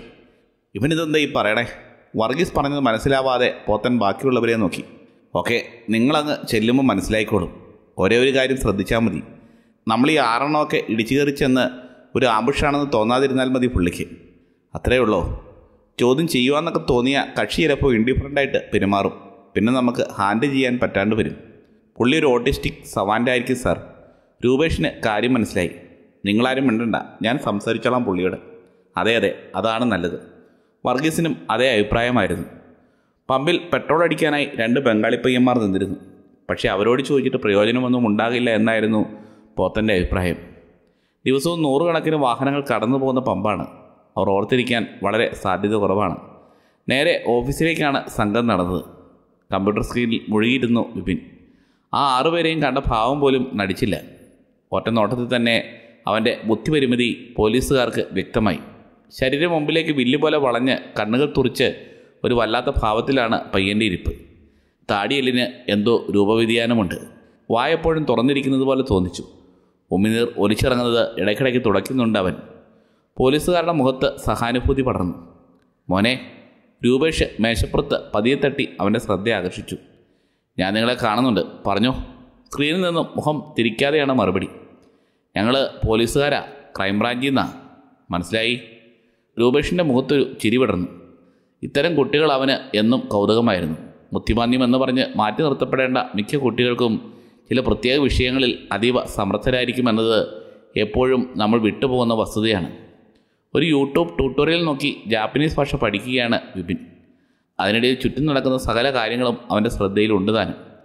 മോനെ നിങ്ങളുടെ ഒരു കീച്ചേനില്ലേ? ഒരു ചെറിയ കോയിൻ പോലത്തെ ഗ്ലാസ് കൊണ്ടുണ്ടാക്കിയ അതിപ്പോൾ ഇല്ലല്ലോ. അടുത്ത സെക്കൻഡിൽ തന്നെ വിമിന്റെ മറുപടി വന്നു. പമ്പ് തുടങ്ങിയ സമയത്തായിരുന്നു അത് രണ്ടായിരത്തി എട്ടിൽ രണ്ടായിരത്തി എട്ട് സെപ്റ്റംബർ ഓണാഘോഷത്തിന്റെ ഭാഗമായിട്ട് അച്ഛനൊരു പ്രൊമോഷൻ പരിപാടി നടത്തിയിരുന്നു. നറുക്കെടുപ്പൊക്കെയായിട്ട് പമ്പ് തുടങ്ങിയ വിവരം നാട്ടുകാരെ അറിയിക്കാം. ആഹാ ഒന്നാം സമ്മാനം ആക്റ്റീവ സ്കൂട്ടർ രണ്ടാം സമ്മാനം വാഷിംഗ് മെഷീൻ മൂന്നാം സമ്മാനം വെയിറ്റ് വെയിറ്റ് വെയിറ്റ് പോത്തൻ ഇടപെട്ടു. പയ്യൻ വെയിറ്റ് ചെയ്തില്ല. പറഞ്ഞു വന്നത് മുഴുവനാക്കിയിട്ടേ അവൻ നിർത്താനാകൂ. മൂന്നാം സമ്മാനം സൈക്കിൾ നാലാം സമ്മാനം അയൺ ബോക്സ് ഇതിനെല്ലാം ശാസ്ത്രിയുടെ സ്റ്റിക്കർ ഉണ്ടായിരുന്നു. ആ കൂടെ ഉണ്ടാക്കിയതാണ് കീച്ചൻ. ഇവിടെ ബാഗ് ഉണ്ടാക്കുന്ന ഒരു ഷോപ്പുണ്ട്. അവരാ ചെയ്തു തന്നെ. പക്ഷേ ഇപ്പോൾ ആ ഷോപ്പില്ല. ഇനി ഉണ്ടാകുമോ അങ്ങനെ ഒരെണ്ണം കൂടി ഞങ്ങൾക്കൊന്ന് കാണാൻ? രൂപേഷ് ചോദിച്ചു. ഇനിയില്ല. അത് പതിനഞ്ചെണ്ണം ഉണ്ടാക്കി ഓരോരുത്തർക്ക് കൊടുത്തു തീർത്തു. ഓക്കെ. ഈ ഒന്നാം സമ്മാനം കിട്ടിയ സ്കൂട്ടറിനെ പറ്റി ഒന്ന് പറയാമോ? എന്തായിരുന്നു അതിന്റെ കളർ? വൈറ്റ്. അത് കിട്ടിയത് ഇവിടെ അടുത്ത് തന്നെയുള്ള ഒരാൾക്കാണ് എൽദോ പി മാത്യു. അന്ന് അന്ന് പക്ഷേ അയാൾക്ക് പതിനാറ് വയസ്സേ ഉണ്ടായിരുന്നുള്ളൂ. അതുകൊണ്ട് വണ്ടി നമ്മൾ അവന്റെ ഫാദറിന്റെ പേരിലാണ് രജിസ്റ്റർ ചെയ്ത് കൊടുത്തത്. ഓക്കെ അവന്റെ അഡ്രസ്സ് വല്ലതും ഉണ്ടാകുമോ എനിക്കറിയില്ല. ഈ എൽദോയെ പിന്നീട് മോൻ കണ്ടിട്ടുണ്ടോ? ഉണ്ടാകുമായിരിക്കും എനിക്കങ്ങനെ ആളുകളെ പരിചയപ്പെടുന്നത് ഇഷ്ടമല്ല. ഓക്കെ ഈ എൽദോയുടെ ഫാദറിനെ പറ്റി അറിയാമോ? അല്ല അന്ന് ഞാൻ ചെറിയ കുട്ടിയായിരുന്നു. നറുക്കെടുത്തത് ഞാനാണ്. കൂപ്പിൽ കണ്ട പേരാണ് ഞാൻ പറഞ്ഞത്. പിന്നെ എന്താ ഉണ്ടായതെന്ന് അച്ഛനെ അറിയൂ. അച്ഛൻ പക്ഷേ പാരലൈസ്ഡാണ് സംസാരിക്കാൻ പറ്റുന്ന കണ്ടീഷനല്ല പെട്ടെന്നാണ് വിപിന്റെ മുഖം മാറിയത്. ഇത്രയും മതി. ഇനി എനിക്ക് പഠിക്കണം. ഞാൻ ക്ലാസ്സിലാണ് സ്ക്രീനിലേക്ക് വിരൽ ചൂട്ടി അവൻ. മോനെ ഞങ്ങൾക്ക് കുറച്ചുകൂടി ഡീറ്റെയിൽസ് വേണം. നിങ്ങൾക്കെല്ലാവർക്കും ഭയങ്കര വെളുത്തുള്ളിയുടെ സ്മെല്ല് എനിക്ക് സഫോക്കേഷൻ ഉണ്ടാവുക. പ്ലീസ് ഗെറ്റ് ഔട്ട് അവൻ ആദ്യമായി സ്ക്രീനിൽ നിന്ന് നോട്ടം പിൻവലിച്ച് പോലീസുകാരെ നോക്കി. വിപിന് ജപ്പാനിൽ പോകാനുള്ള പ്ലാനുണ്ടോ എന്തിനാ അവരുടെ ഭാഷ പഠിക്കുന്നേ? രൂപേഷ് ഒരു വട്ടം കൂടി അവന്റെ താല്പര്യം വീണ്ടെടുക്കാൻ ശ്രമിച്ചു. പക്ഷെ മറുപടിയായി അവൻ ഗോൾ ക്രോം മിനിമൈസ് ചെയ്ത് കൈകൾ മാറിൽ കെട്ടി താഴേക്ക് നോക്കിയിരിക്കുകയാണ് ഉണ്ടായത്. ഇനി അവൻ വാ തുറക്കുകയോ ഒരു വാക്കെങ്കിലും സംസാരിക്കുകയോ ചെയ്യില്ലെന്ന് പോലീസുകാർക്ക് മനസ്സിലായി. Thank you Vipin. പുഞ്ചിരിയോടെ അവന്റെ തട്ടിയതിനു തട്ടിയതിന് ശേഷം രൂപേഷ് പുറത്തേക്ക് നടന്നു. ബാക്കിയുള്ളവർ അവനെ പിന്തുടർന്നു. ഓരോരൊക്കെ അടുത്തെത്തിയതിന് ശേഷമാണ് അവൻ നിന്നത്. അച്ഛന്റെ കാര്യം പറഞ്ഞപ്പോൾ കക്ഷിക്ക് സങ്കടം വന്നു. അതാ പറ്റിയേ. രൂപേഷ് വിശദമായി കൊടുത്തു. ഹൈലി ഇന്റലിജന്റാണ് വിപിൻ. പക്ഷെ സോഷ്യലി അക്വേർഡായി പോയി. അവൻ നമ്മളോട് ആ പറഞ്ഞതെല്ലാം അവന്റെ ബ്രെയിൻ ഒരു ഫോട്ടോഗ്രാഫ് പോലെ സേവ് ചെയ്തിരിക്കുന്ന വിവരങ്ങളാണ്. ഒരു സെക്കൻഡ് നിർത്തി ആലോചിക്കേണ്ട ആവശ്യമുണ്ടോ എന്ന് നോക്കിയവന് ഇതുപോലെ മാനസിക പ്രശ്നമുള്ളവർക്ക് പെട്രോൾ പമ്പിന്റെ ചുമതല ഏൽപ്പിക്കുന്നത് ഡേഞ്ചറസ് അല്ലേ? ആൽബിയുടേതായിരുന്നു ചോദ്യം. ഞാനും അതുതന്നെ ആലോചിച്ച്. ഒറ്റ ദേഷ്യത്തിന് ചിലപ്പോൾ പുള്ളിക്കാരൻ നാട് കത്തിക്കുമല്ലോ ജെയിംസിനും അതേ സംശയമുണ്ടായി. ഇപ്പം നമ്മൾ ഹാൻഡിൽ ചെയ്തതുപോലെ വലിയ ഒച്ചപ്പാടും ബഹളമൊന്നുമില്ലാതെ സംസാരിച്ച ആ കൊച്ചിനെ കൊണ്ട് ഒരു കുഴപ്പവും ഉണ്ടാവില്ല. കുഞ്ഞായിരിക്കുമ്പോൾ മുതൽ ഞാൻ കാണുന്നതല്ലേ അതിനെ? അല്ല പറഞ്ഞു. വല്ലാത്ത ബ്രെയിനാ. അതിനെ പഠിപ്പിക്കാൻ ശേഷിയുള്ള സ്കൂളുകളൊന്നുമില്ല നമ്മുടെ നാട്ടിൽ. ഒരു പേജ് മറിച്ച് നോക്കിയാൽ അതിന് അപ്പോൾ കാണാപ്പാടമായി അമേരിക്കയിലാണെങ്കിൽ ഇങ്ങനത്തെ പിള്ളേരെ പഠിപ്പിക്കാൻ പ്രത്യേക ഫെസിലിറ്റി ഉണ്ട്. ഓ എന്താലേ? എന്തൊക്കെ തരം മനുഷ്യരാണ് ലോകത്ത്? പോത്തൻ അത്ഭുതപ്പെട്ടു. സോ കോംപ്ലിക്കേഷൻ എന്താണെന്ന് വെച്ചാൽ രൂപേഷ് വിഷയത്തിലേക്ക് മടങ്ങി വന്നുകൊണ്ട് പറഞ്ഞു. ഇവിടുന്ന് സമ്മാനം കൊടുത്ത വണ്ടി വൈറ്റാണ് നമ്മുടെ വണ്ടി ബ്ലാക്കാണ് രണ്ടായിരത്തി അഞ്ചെന്ന് പറയുമ്പോൾ രണ്ടായിരത്തി ഇരുപതിൽ റീടെസ്റ്റ് കഴിഞ്ഞിട്ടുണ്ടാവും. പെയിന്റ് മാറ്റിയിട്ടുണ്ടാവും. ജെയിംസ് പറഞ്ഞു. എന്ന് നമുക്ക് ആശ്വസിക്കാം. രൂപേഷ് ആലോചനയോടെ വർഗീസിനെ നോക്കി. വർഗീസ് ആ പേര് ഓർത്തെടുക്കാനുള്ള കഠിന പ്രയത്നത്തിലായിരുന്നു. എൽദോ പി മാത്യു. അയാൾ പെറുപിറുത്തുകൊണ്ടിരുന്നു. പെട്രോൾ പമ്പ് നിന്നിടത്തു നിന്നും ഏതാണ്ട് പതിനഞ്ച് കിലോമീറ്റർ അകലെ വാരന്തപ്പള്ളി എന്നൊരു കൊച്ചു കവലയിലെ ഒരു വിശാലമായ തടിരിപ്പോട് ചേർന്ന് തലയുയർത്തി നിൽക്കുന്ന ഒരു കൂറ്റൻ ഇരുനില വീടിന്റെ വാതുക്കൽ ആ ബലോറ ഇരച്ചു നിന്നു. ഗേറ്റിനോട് ചേർന്ന് തന്നെ എൽദോ പാറയിൽ കോൺട്രാക്ട് സ്റ്റേറ്റ് ലൈസൻസ് തുടങ്ങിയ വിവരങ്ങൾ എഴുതിയ ഒരു ബോർഡ് സ്ഥാപിച്ചിരുന്നു. തൊട്ടപ്പുറത്ത് തന്നെ പാറയിൽ സോമിൽസ് പാറയിൽ ബിൽഡിംഗ് മെറ്റീരിയൽസ് തുടങ്ങിയ അഞ്ചോളം ബോർഡുകൾ വേറെയും. പാറയിൽ ഗ്രൂപ്പ് ഓഫ് കമ്പനീസ് ആണല്ലോടെ പോത്തനൊരു ചെറുചിരിയോടെ വർഗീസിനെ നോക്കി. ഈ പഞ്ചായത്തിലെ ആകെയുള്ള ഒരു എൽദോപ്പി മാത്യു ഇവനാണ്. എല്ലാം കൊണ്ടും നമ്മുടെ കറക്കി ചേരുന്ന ഒരു കഥാപാത്രം. അതാണ്. പോത്തൻ കണ്ണുകൊണ്ട് ഒരാംഗ്യം കാണിച്ചപ്പോൾ ആൽബി ചാടിയിറങ്ങി ഗേറ്റ് തുറന്നു കൊടുത്തു. അപ്പോഴേക്കും മുൻവാതിൽ തുറന്ന് എൽദോയുടെ ഭാര്യ വെളിയിൽ വന്ന് കഴിഞ്ഞിരുന്നു. പേടിക്കേണ്ട കേട്ടോ. പോത്തൻ ഹൃദ്യമായൊരു പുഞ്ചിരിയോടെയാണ് വെളിയിലേക്ക് ഇറങ്ങിയത്. ഞങ്ങൾ പോലീസുകാരാ. ചേട്ടായി ഇവിടെ ഇല്ലേ? ചേട്ടായി ഇവിടെ ഇല്ല. ആ യുവതി അമ്പരന്ന് പോയിരുന്നുവെന്ന് വ്യക്തം. മോളി എന്നല്ലേ ചേച്ചിയുടെ പേര്? അല്ല ഇടപെട്ടു. അവർ തല ഉലുക്കി ചേച്ചിക്ക് എന്നെ മനസ്സിലായോ? ഞാൻ ഇവിടുത്തെ കൊച്ചിന് ട്യൂഷൻ എടുത്തിട്ടുണ്ട് അഞ്ചാം ക്ലാസ്സിൽ മനസ്സിലായി. മോളി തലയാട്ടിക്കൊണ്ട് തുടർന്നു. എന്നതാ കാര്യം? ചേട്ടായി എങ്ങാണ്ട് പോയേക്കുവാ. ചാച്ചന്റെ ഡെഡ് ബോഡി ഇതുവരെ കിട്ടിയിട്ടില്ലെന്നേ. പോലീസ് സ്റ്റേഷനിലോട്ട് തന്നെയാണ് പോയിരിക്കുന്നതെന്ന് തോന്നുന്നു. ആ അതിന്റെ കാര്യം പറയാനാ ഞങ്ങൾ വന്നേ. വർഗീസ് പുഞ്ചിരിയുടെ മുമ്പിലേക്ക് വന്നു. വാ കയറിയിരിക്കുക മോളി വാതിൽ തുറന്ന് പിടിച്ച് എല്ലാവരെയും അകത്തേക്ക് ക്ഷണിച്ചു. അല്ല എൽദോ ഇല്ലെങ്കിൽ പിന്നെ ഞങ്ങൾ വന്നിട്ട് കാര്യമില്ല. പുള്ളിക്കാരനെ ഒന്ന് ഫോൺ ചെയ്യുമോ പോത്തൻ ചോദിച്ചു. അത് ഞാൻ വിളിക്കാം. നിങ്ങളെന്തായാലും അകത്ത് കയറി ഇരിക്കുന്നേ. മോളി നിർബന്ധിക്കുകയാണ്. അകത്ത് അതിവിശാലമായ സ്വീകരണ മുറി രണ്ടായി തിരിച്ചിരിക്കുന്നു. കയറി ചെല്ലുന്നിടം ഇൻഫോർമലാണ് വന്ന് പെട്ടെന്ന് കണ്ട് തിരിച്ചു പോകുന്നവർക്ക് ഇരിക്കാനുള്ള ഇടം. അവിടെ ചുരുങ്ങിയത് പന്ത്രണ്ട് പേർക്ക് ഇരിക്കാനുള്ള സോഫ സെറ്റുകൾ ഒരുക്കിയിരുന്നു. രണ്ട് നില ഉയരത്തിലാണ് ആ ഭാഗത്തിന്റെ സീലിംഗ്. അവിടെ നിന്നും താഴേക്ക് തൂങ്ങിക്കിടന്ന കൂറ്റൻ ചാൻഡിയർ പോലീസുകാരുടെ എല്ലാം ശ്രദ്ധയെ ആകർഷിച്ചു. കുറച്ചപ്പുറത്ത് മാറി രണ്ട് സ്റ്റെപ്പുകൾക്ക് താഴെ അതിനേക്കാൾ വലിയ മറ്റൊരു സീലിംഗ് ഏരിയ കൂടി കാണാം. അവിടെ ഭിത്തിയോട് ചേർന്ന് പണി കഴിപ്പിച്ചിരിക്കുന്ന ബാറിന്റെ ഷെല്ലുകളിൽ നിരവധിയായിരിക്കുന്ന വിദേശ മദ്യങ്ങളിലേക്കാണ് അവരുടെ ആദ്യ നോട്ടം ചെന്നെത്തുക. പോത്തന് ആ സംവിധാനം വളരെയേറെ ഇഷ്ടപ്പെട്ടുവെന്ന് മുഖഭാവത്തിൽ നിന്ന് വ്യക്തമായിരുന്നു. നിങ്ങൾ ഇരിക്കേട്ടോ ഞാൻ പുള്ളിക്കാരനെ ഒന്ന് വിളിക്കാം. എല്ലാവർക്കും ചായയാണോ? മോളി ചോദിച്ചു. മോളി ഒരു മിനിറ്റ്. പോത്തൻ അവരെ തടഞ്ഞു. ദേ ഈ ഫോട്ടോ ഒന്ന് നോക്കിയേ. പോത്തൻ തന്റെ ഫോണിൽ സ്കൂട്ടറിന്റെ ചിത്രം അവർക്ക് നേരെ നീട്ടി. അയ്യോ ഇത് എവിടുന്ന് കിട്ടി? അവരുടെ കണ്ണുകൾ മിഴിഞ്ഞു വന്നു. ഇത് ഇവിടുത്തെ വണ്ടിയല്ലേ? പോത്തന് അവരുടെ അമ്പരപ്പിന്റെ കാര്യം മനസ്സിലായില്ല. വണ്ടി ഇവിടുത്തിയ. പക്ഷേ മോഷണം പോയേക്കുമായിരുന്നു. മൂന്നാൽ മാസമായി. വർഗീസ് സാറിന് അറിയാമായിരിക്കുമല്ലോ. ഇതിപ്പോൾ നിങ്ങളെവിടെയാണ് കണ്ടേ? അത് പറയാം. പക്ഷേ അതിനു മുന്നേ കൃത്യമായിട്ട് പറഞ്ഞേ എന്നാണ് എവിടെ വെച്ചാണ് വണ്ടി മോഷണം പോയത്? വണ്ടി നമ്മുടെ നടത്തറ സൂപ്പർ മാർക്കറ്റില്ലേ എം ജെ ഷോപ്പിംഗ് സെന്റർ ഓ അറിയില്ലാഞ്ഞിട്ടും പോത്തൻ തലകുലക്കി കൃത്യം ഡേറ്റ് നോക്കണം സാർ. എന്തായാലും മൂന്നാൽ മാസമായി. ഒരു ദിവസം രാത്രി ചേട്ടായി എങ്ങാണ്ട് പോയിട്ട് ഒരുപാട് വൈകി വന്നതെങ്ങാണ്ടാ നടത്തറ എത്തിയപ്പോൾ പെട്രോൾ തീർന്നു. പിന്നെ സൂപ്പർ മാർക്കറ്റിന്റെ ഫ്രണ്ടിലെ പാർക്കിങ്ങിൽ സ്റ്റാൻഡിലിട്ട് വെച്ച് വന്നർന്ന എന്നോട് പറഞ്ഞ്. പിറ്റേ ദിവസം ചെന്നപ്പോൾ വണ്ടി അവിടെ ഇല്ലായിരുന്നു. കേസ് കൊടുത്തിട്ട് എന്തായി? കേസൊക്കെ കൊടുത്തായിരുന്നു എന്നാണ് എന്നോട് പറഞ്ഞേ. ഞാൻ അതിനെപ്പറ്റിയൊന്നും കൂടുതൽ അന്വേഷിക്കാൻ പോയില്ല സാർ. ഒരുപാട് പഴയ വണ്ടിയായിരുന്നു. ചേട്ടായിക്ക് ചെറുപ്പത്തിൽ ഏതാണ്ട് പ്രൈസ് കിട്ടിയതാ. സൂപ്പർ മാർക്കറ്റിൽ ക്യാമറയൊന്നും ഇല്ലായിരുന്നോ? എനിക്കറിയാൻ പാടില്ലെന്നേ. ഞാനത് വലിയ കാര്യമാക്കിയൊന്നും എടുത്തില്ല. പന്ന വണ്ടി. അതിന്റെ അടുത്തോടെ പോയ പോയിസന്റെ ഇഞ്ചക്ഷൻ എടുക്കണം. കൊണ്ടോയൻ അതും കൊണ്ട് നരയിക്കേ ഉള്ളൂ. മോളി ചിരിച്ചു. പക്ഷേ ചേട്ടായിക്ക് വലിയ ഇഷ്ടമായിരുന്നു. ഇൻഷുറൻസിന് കൊടുത്തിട്ടുണ്ടെന്നാണ് എന്നോട് പറഞ്ഞേ. പോത്തന്റെ മുഖം ഗൗരവത്തിലായി. ആ വണ്ടിയുടെ ചാവികളുണ്ടോ ഇവിടെ? ചാവികളെന്ന് പറയുമ്പോൾ അതായത് മോഷണം പോയതാണെങ്കിൽ ഇൻഷുറൻസ് കമ്പനിക്കാർ രണ്ട് ചാവികളും ചോദിക്കില്ലേ? അല്ലെങ്കിൽ ക്ലെയിം കിട്ടില്ലല്ലോ? അങ്ങനെയൊക്കെ ഉണ്ടോ? എനിക്കറിയാൻ പാടില്ല സാർ. ഞാനൊന്ന് നോക്കട്ടെ. മോളി അകത്തേക്ക് പോയി. മോനെ പോത്തൻ വർഗീസിന് നേരെ തിരിഞ്ഞു. ഞാൻ വിഷ്ണുവിനെ ഒന്ന് വിളിച്ചു നോക്കട്ടെ. ഇങ്ങനെയൊരു വണ്ടി മോഷണ കേസ് എനിക്ക് ഓർമ്മ കിട്ടുന്നില്ല സാർ. വർഗീസ് ചെറിയൊരു പരിങ്ങലോടെ പുറത്തേക്കിറങ്ങി അധികം വൈകിയില്ല. ചെറിയൊരു സ്റ്റീൽ തളികയിൽ കുറേയേറെ താക്കോലുമായി മോളി മടങ്ങിയെത്തി.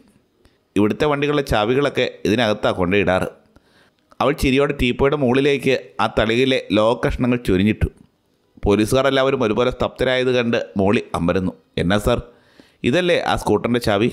പോത്തൻ ശാസ്ത്രിയുടെ കീ ചെയിൻ എടുത്തുയർത്തിക്കൊണ്ട് ചോദിച്ചു. അതുതന്നെ അതിന്റെ ഡ്യൂപ്ലിക്കേറ്റ് ഇതിനകത്ത് തന്നെയുണ്ട്. മോളി മറ്റൊരു ചാവി കൂടി തപ്പിയെടുത്ത് പോത്തിനെ ഏൽപ്പിച്ചു. അതിൽ കീച്ചെയിൻ ഉണ്ടായിരുന്നില്ല.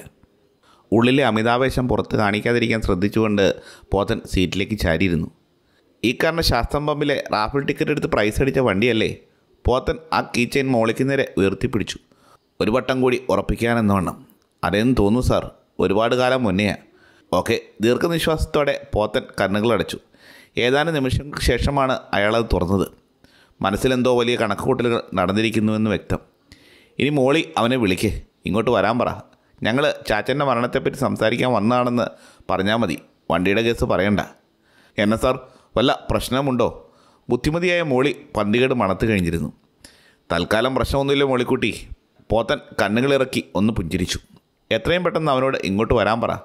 ഇല്ലെങ്കിൽ ചിലപ്പോൾ പ്രശ്നമാവും. മോളി സംശയത്തോടെ പോത്തനെ ഒന്ന് ചുഴിഞ്ഞു നോക്കിയതിന് ശേഷം വീണ്ടും അകത്തേക്ക് പോയി. ഇപ്പോൾ ഇറങ്ങി വരും. അതെ ചേട്ടായി വിളിച്ചിട്ട് കിട്ടിയില്ലായിരുന്നു സാർ എന്നും പറഞ്ഞുകൊണ്ട് പോത്തൻ ജെയിംസിനോട് മന്ത്രിച്ചു. അഞ്ച് മിനിറ്റുകൾക്ക് ശേഷം അതെ സോറി സാർ ചേട്ടായിയുടെ ഫോൺ ഓഫാ. ഞാൻ രണ്ട് നമ്പറിലും വിളിച്ചു നോക്കി. രണ്ടും ഓഫാ. കൈവിരലുകൾ പിണച്ചു പിടിച്ചുകൊണ്ട് അതിസമർത്ഥമായി അവൾ പറഞ്ഞൊപ്പിച്ചു. പോത്തൻ നിർനിമിഷനായി അവളുടെ കണ്ണുകളിലേക്ക് തന്നെ സൂക്ഷിച്ചു നോക്കിക്കൊണ്ട് ഇരിപ്പാണ്. ചുണ്ടിൽ ചെറു പുഞ്ചിരി ഊറി വരുന്നുണ്ടായിരുന്നു. എന്നാ സാർ ഇങ്ങനെ നോക്കണേ. അനിൽ സാവധാനം എഴുന്നേറ്റ് നിന്നു. പതുക്കെ തന്റെ യൂണിഫോം വലിച്ച് ചുളിവ് നിവർത്തിക്കൊണ്ട് മോളിയെ സമീപിച്ച ആ പോലീസുകാരന്റെ മുഖം അതീവ ഗൗരവം അറിയിച്ചിരുന്നു എന്നാന്നേ മോളിയുടെ സ്വരം വിറച്ചു. ആ പോലീസ് ഉദ്യോഗസ്ഥയുടെ താളിയോളമേ മോളിക്ക് ഉയരമുള്ളൂ. തലയുയർത്തി നോക്കിയെങ്കിലേ അവൾക്ക് അനിലയുടെ മുഖം കാണാനാകൂ. ആ രണ്ട് ഫോൺ നമ്പറുകളും ഒന്ന് പറഞ്ഞേ ഞങ്ങളൊന്ന് വിളിച്ചു നോക്കട്ടെ. അതിനിപ്പോൾ എന്നാ തരാലോ ഒരു മിനിറ്റ് മോളി വീണ്ടും അകത്തേക്ക് നടക്കാനായി തിരിഞ്ഞതും ഇവിടെ നിന്നുണ്ട്. അനില മോളിയുടെ എടുത്ത തൊള്ളി പിടിച്ച് തനിക്ക് അപൂർവമായി നിർത്തി. എനിക്ക് കാടാപ്പാണം അറിയില്ല. ഇപ്പോൾ പൊന്ന മോളെ. അനിലയുടെ ഭാവം മറന്നത് പെട്ടെന്നായിരുന്നു. ഞങ്ങളെ കുരങ്ങളിപ്പിക്കാൻ നോക്കിയാലുണ്ടല്ലോ. ഒച്ചയുയർന്നതും പോലീസുകാരെല്ലാവരും ചാടി എഴുന്നേറ്റു. പുറത്തായിരുന്ന വർഗീസ് വരെ ഓടി അകത്തേക്ക് എത്തി സംഘർഷാവസ്ഥ ഒഴിവാക്കണമെന്ന് കരുതിയാവണം രൂപേഷ് പതിയെ അനിലയുടെ തൊളിത്തൊട്ടു പറ അല്ല ഒരു വട്ടം കൂടി ആവശ്യപ്പെട്ടു. ഒമ്പത് എട്ട് നാല് ഏഴ് പൂജ്യം. മോളി വിറച്ചുകൊണ്ട് ഓരോ അക്കങ്ങളായി പറഞ്ഞു തീർത്തു. ഓക്കെ ഇനി മറ്റേ നമ്പർ. ഇല്ല മാഡം ആകെ ഈ ഒരൊറ്റ നമ്പറേ ഉള്ളൂ. പിന്നെ എന്നാ അടി നീ പറഞ്ഞേ? ഞങ്ങൾ എന്നാ കോപ്പുണ്ടാക്കാൻ നടക്കുവാണെന്ന് വിചാരിച്ചോ നീ? അറിയില്ല മോളിയുടെ താടിയിൽ പിടുത്തമിട്ടു ഹേ വിട് വിട്. കയ്യാങ്കളിയൊന്നും വേണ്ട. പോത്തൻ ഇടപെട്ടു. മോളി ഇപ്പോൾ അവനെ വിളിച്ചപ്പോൾ എൽദോ എന്നതാ പറഞ്ഞേ? ചോദ്യം ആൽബിയുടേതായിരുന്നു. അല്ലയുടെ ചോദ്യത്തിന്റെ ആഘാതത്തിൽ മോളിയാകെ സ്തബ്ധയായിരുന്നു. ഒരു വാക്കുപോലും മിണ്ടാനാകാതെ നിന്ന് കിടക്കുകയാണ്. അതേ മോളിക്കുട്ടി പോത്തൻ അവരുടെ തോളിൽ പിടിച്ച് സമാധാനിപ്പിച്ചുകൊണ്ട് സോഫയിലേക്ക് ഇരുത്തി. അയാളും തൊട്ടടുത്ത് തന്നെ ഇരുന്നു ഇരുന്നുകൊണ്ടാണ് തുടർന്നത്. പോലീസുകാരാടാവും പോലീസുകാരടാവുമ്പോൾ അതിന്റേതായ ഒരു മെരുങ്ങിന് നിൽക്കണം. അല്ലെങ്കിൽ ഇടി ഏത് വഴിക്കാണ് വരണമെന്ന് പറയാൻ പറ്റില്ല. കാര്യം ഞങ്ങൾ പിടിച്ചു മാറ്റും. പക്ഷേ അപ്പോഴത്തേക്ക് സ്ഥാനത്തുനിന്ന് കിട്ടിയാൽ പിന്നെ പറഞ്ഞിട്ട് കാര്യമുണ്ടോ? അതുകൊണ്ടാണ് പറയണേ ഇപ്പം എന്നല്ല ഒരിക്കലും പോലീസുകാരോട് നുണ പറയരുത്. നിങ്ങളിങ്ങനെ ടോർച്ചർ ചെയ്യാൻ എന്താ അതോറിറ്റി? മോളി കിടപ്പ് കാരണം ഒരു വാക്ക് പോലും പൂർണമായി ഉച്ചരിക്കാനാകുന്നില്ല. അതോറിറ്റിയും കോപ്പൊക്കെ പറഞ്ഞ് തെളിയിച്ചു വരുമ്പോഴേക്കും ഇവരിടിച്ച് പണ്ടം കലക്കൂലേ മോളി? പോത്തൻ കുലുങ്ങിച്ചിരിച്ചു അതൊക്കെ പോട്ടെ എൽദോ എന്നാ പറഞ്ഞേ? ഫോൺ ഓഫാണെന്ന് പറയാൻ പറഞ്ഞു. അത്രേ പറഞ്ഞുള്ളൂ. വെരി ഗുഡ് അത്രേ ഉള്ളൂ. അവനിപ്പോൾ എവിടെയുണ്ട്? അറിയാൻ പാടില്ല സാർ മോളി സ്വന്തം ചുമലിൽ മുഖം തുടച്ചു. എന്നെ കെട്ടിയോൻ പറഞ്ഞാൽ പിന്നെ എനിക്ക് അങ്ങനെയല്ലേ പറയാൻ പറ്റുള്ളൂ സാർ അവളുടെ കണ്ണുകൾ നിറഞ്ഞു വന്നു. അതിൽ ഒരു വ്യത്യാസമുണ്ട് മോളി. നമ്മുടെ ബന്ധുമിത്രാദികളോടൊക്കെ ഇത്തിരി നുണ പറഞ്ഞുകൊണ്ട് വലിയ പ്രശ്നമില്ല. പക്ഷെ പോലീസുകാരോട് പറഞ്ഞാൽ എതിലേക്ക് ഇടി വരികയെന്ന് പറയാൻ പറ്റില്ല. മനസ്സിലായോ? ചേട്ടായി എന്നാ ചെയ്തിട്ടാ സാർ? മോളി വാവിട്ട് നിലവിളിക്കണമെന്ന് തോന്നിച്ചു. അതറിയണമെങ്കിൽ അവനെ നമുക്ക് കിട്ടണം. പോത്തൻ ചിരിച്ചു. എവിടെ പോകുന്നെന്ന് പറഞ്ഞാൽ എൽദോ ഇവിടെ നിന്ന് ഇറങ്ങി. മെഡിക്കൽ ടെസ്റ്റ് പോകണമെന്ന് പറഞ്ഞു. ചാച്ചന്റെ ബോഡി റിലീസ് ചെയ്യുന്ന കാര്യം സംസാരിക്കാൻ. എന്നിട്ട് ശരിയായില്ലെങ്കിൽ വൈകിട്ട് എം എൽ എ കാണണമെന്ന് പറഞ്ഞു. രാവിലെ തന്നെ എസ് ഐ സാറിനെ വിളിക്കണ കണ്ടായിരുന്നു. ആര്? വിഷ്ണുവിനെയോ? മോളി തലകുലഹി ഓക്കെ മോളി. ഞാൻ വേറൊരു കാര്യം കൂടി ചോദിക്കട്ടെ? മോളിയൊന്നും മിണ്ടാതെ തലകുനിച്ചിരിക്കുകയാണ്. ഈ എൽദോയും അവന്റെ ചാറ്റനും തമ്മിൽ എങ്ങനെ ഉണ്ടായിരുന്നു? എന്നാ സാർ? മോളി സം മോളി സംശയത്തോടെ മുഖമുയർത്തി. അല്ല അവരപ്പനും മോനും തമ്മിൽ വല്ല പ്രശ്നവും ഉണ്ടായിരുന്നോ? അങ്ങനെ മോളി ആലോചനയിലാണ്ടു. ചെറിയ ചില എല്ലാ വീട്ടിലത്തെ പോലെ എന്തൊക്കെയോ വർത്തമാനങ്ങളൊക്കെ ഉണ്ടായിട്ടൊന്നല്ലാതെ മോളിയും മത്തായിച്ചനും എങ്ങനെയായിരുന്നു? ഞങ്ങൾ തമ്മിൽ ഒരു പ്രശ്നവും ഇല്ലായിരുന്നു സാർ. ചാച്ചൻ ഈ പറഞ്ഞതുപോലെയാ. ചാച്ചൻ ഈ പറഞ്ഞതുപോലെയാ. ആര് ചോദിച്ചാലും ഹെൽപ്പ് ചെയ്യും. കുടുംബത്തൊന്നുമില്ലെങ്കിൽ കടം മേടിച്ചിട്ടായാലും. കാരണവന്മാരായിട്ട് ഒരുപാട് സ്വത്തുണ്ടാക്കിയിരുന്ന. സാറ് ഈ വീടിന്റെ മുകളിൽ കയറി ഒന്ന് നോക്കിയാൽ മതി. കർണത്താ ദൂരത്തുണ്ടായിരുന്നതൊക്കെ നമ്മുടെയായിരുന്നു. ആ മത്തായിച്ചിറയെന്നൊന്നും കേട്ടിട്ടില്ലേ സാറ്? ആ പ്രദേശം മുഴുവൻ ചാച്ചന്റെ സ്വന്തം ഭൂമിയായിരുന്നു. പക്ഷേ ഇങ്ങനെ വരുന്നവർക്ക് വരുന്നവർക്ക് വിധിച്ചു കൊടുത്ത് ഇപ്പോൾ ഒന്നും ഇല്ലാണ്ടായി. ഞാൻ പുള്ളീനെ കുറ്റം പറഞ്ഞിട്ടില്ല കേട്ടോ. ചാരിറ്റിക്കൊന്നും ഞാൻ എതിരല്ല. പക്ഷേ നമ്മുടെ കുടുംബകാര്യം കഴിഞ്ഞിട്ടില്ലേ നാട്ടുകാരെ ഹെൽപ്പ് ചെയ്യാൻ പോകാവുള്ളൂ. എന്റെ കാരണവന്മാരും അങ്ങനെയായിരുന്നു. പോത്തൻ സമ്മതിച്ചു കൊടുത്തു. മത്തായച്ചനോട് അറ്റ്ലീസ്റ്റ് പറഞ്ഞെങ്കിലും നിൽക്കാം. എന്റെ അപ്പനോട് മിണ്ടാൻ നിവൃത്തിയില്ലായിരുന്നു. അതാണ്. കാരണവന്മാർ അവരുടെ പിടിവാശിക്ക് ഓരോന്ന് ചെയ്തു വയ്ക്കും. നമ്മുടെ കാര്യമോ നമ്മുടെ പിള്ളേരുടെ കാര്യമോ ഒന്നും ആലോചിക്കില്ല. മോളി മൂക്ക് പിഴിഞ്ഞു.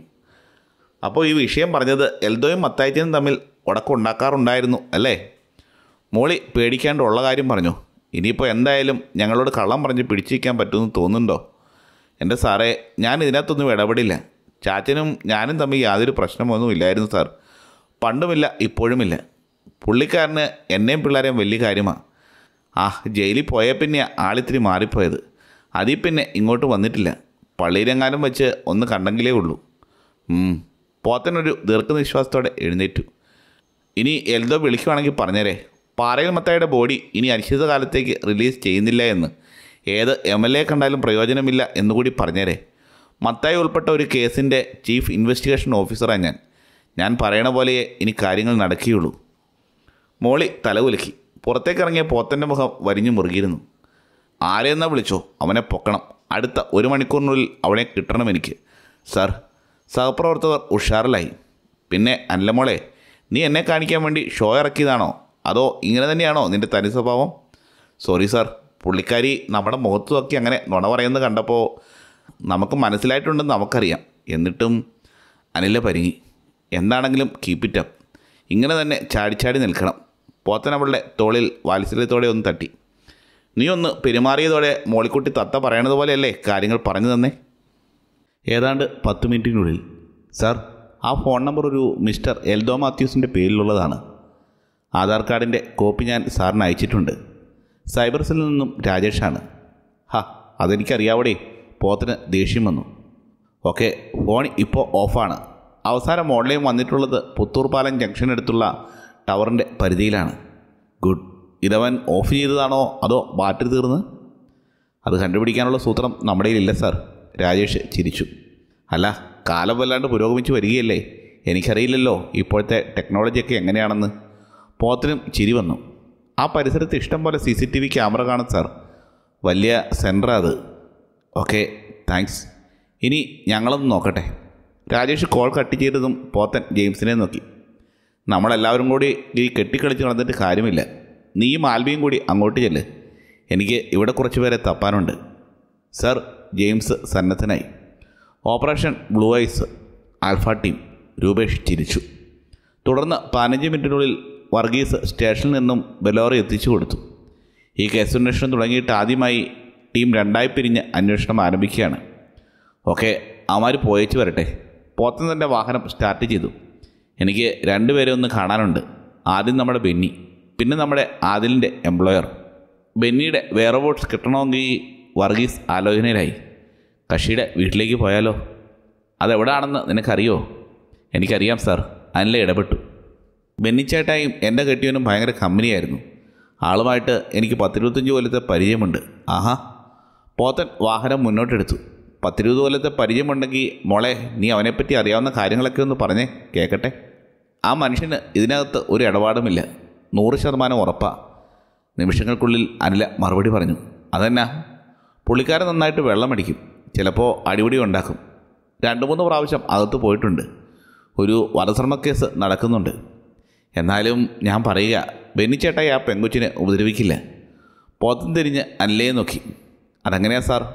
പഞ്ചപാവമാ. നല്ല അറിവും വിദ്യാഭ്യാസവും ഒക്കെയുണ്ട്. മാനം മര്യാദയായിട്ട് കുടുംബം നോക്കി ജീവിച്ചുകൊണ്ടിരുന്ന മനുഷ്യനാ. പക്ഷേ എന്നാ പറ്റിയെന്നറിയില്ല. ഒന്ന് കാലിടറിപ്പോയി. ഒടുക്കത്തെ കള്ളുകൂടി അങ്ങ് തുടങ്ങി. അതോടെ എല്ലാം തവിട് പൊടിയായി ഭാര്യയും പിള്ളേരുമൊക്കെ ഇട്ടേച്ചു പോയി. മൂത്ത കൊച്ചിനെ ഞാൻ ട്യൂഷൻ പഠിപ്പിച്ചിട്ടുണ്ട്. നീ ട്യൂഷൻ പഠിപ്പിക്കാത്ത പിള്ളേരുമല്ലോ ഈ നാട്ടിലുണ്ടോ മോളെ? കുറവാ സാർ. അല്ല പൊട്ടിച്ചിരിച്ചു. ട്യൂഷൻ അല്ലെങ്കിൽ കരാട്ടെ. ഏതെങ്കിലും തരത്തിൽ എന്റെ സ്റ്റുഡന്റാ ഇവിടുത്തെ ന്യൂ ജനറേഷൻ മുഴുവനും. അവളുടെ സ്വരത്തിൽ അഭിമാനം തിളങ്ങി. മത്തായിച്ചിനും ബെന്നിച്ചേട്ടായും കൂട്ടുകാരെ പോലെ ആയിരുന്നു. അവർ തമ്മിൽ രഹസ്യങ്ങളൊന്നും കാണാൻ വഴിയില്ല.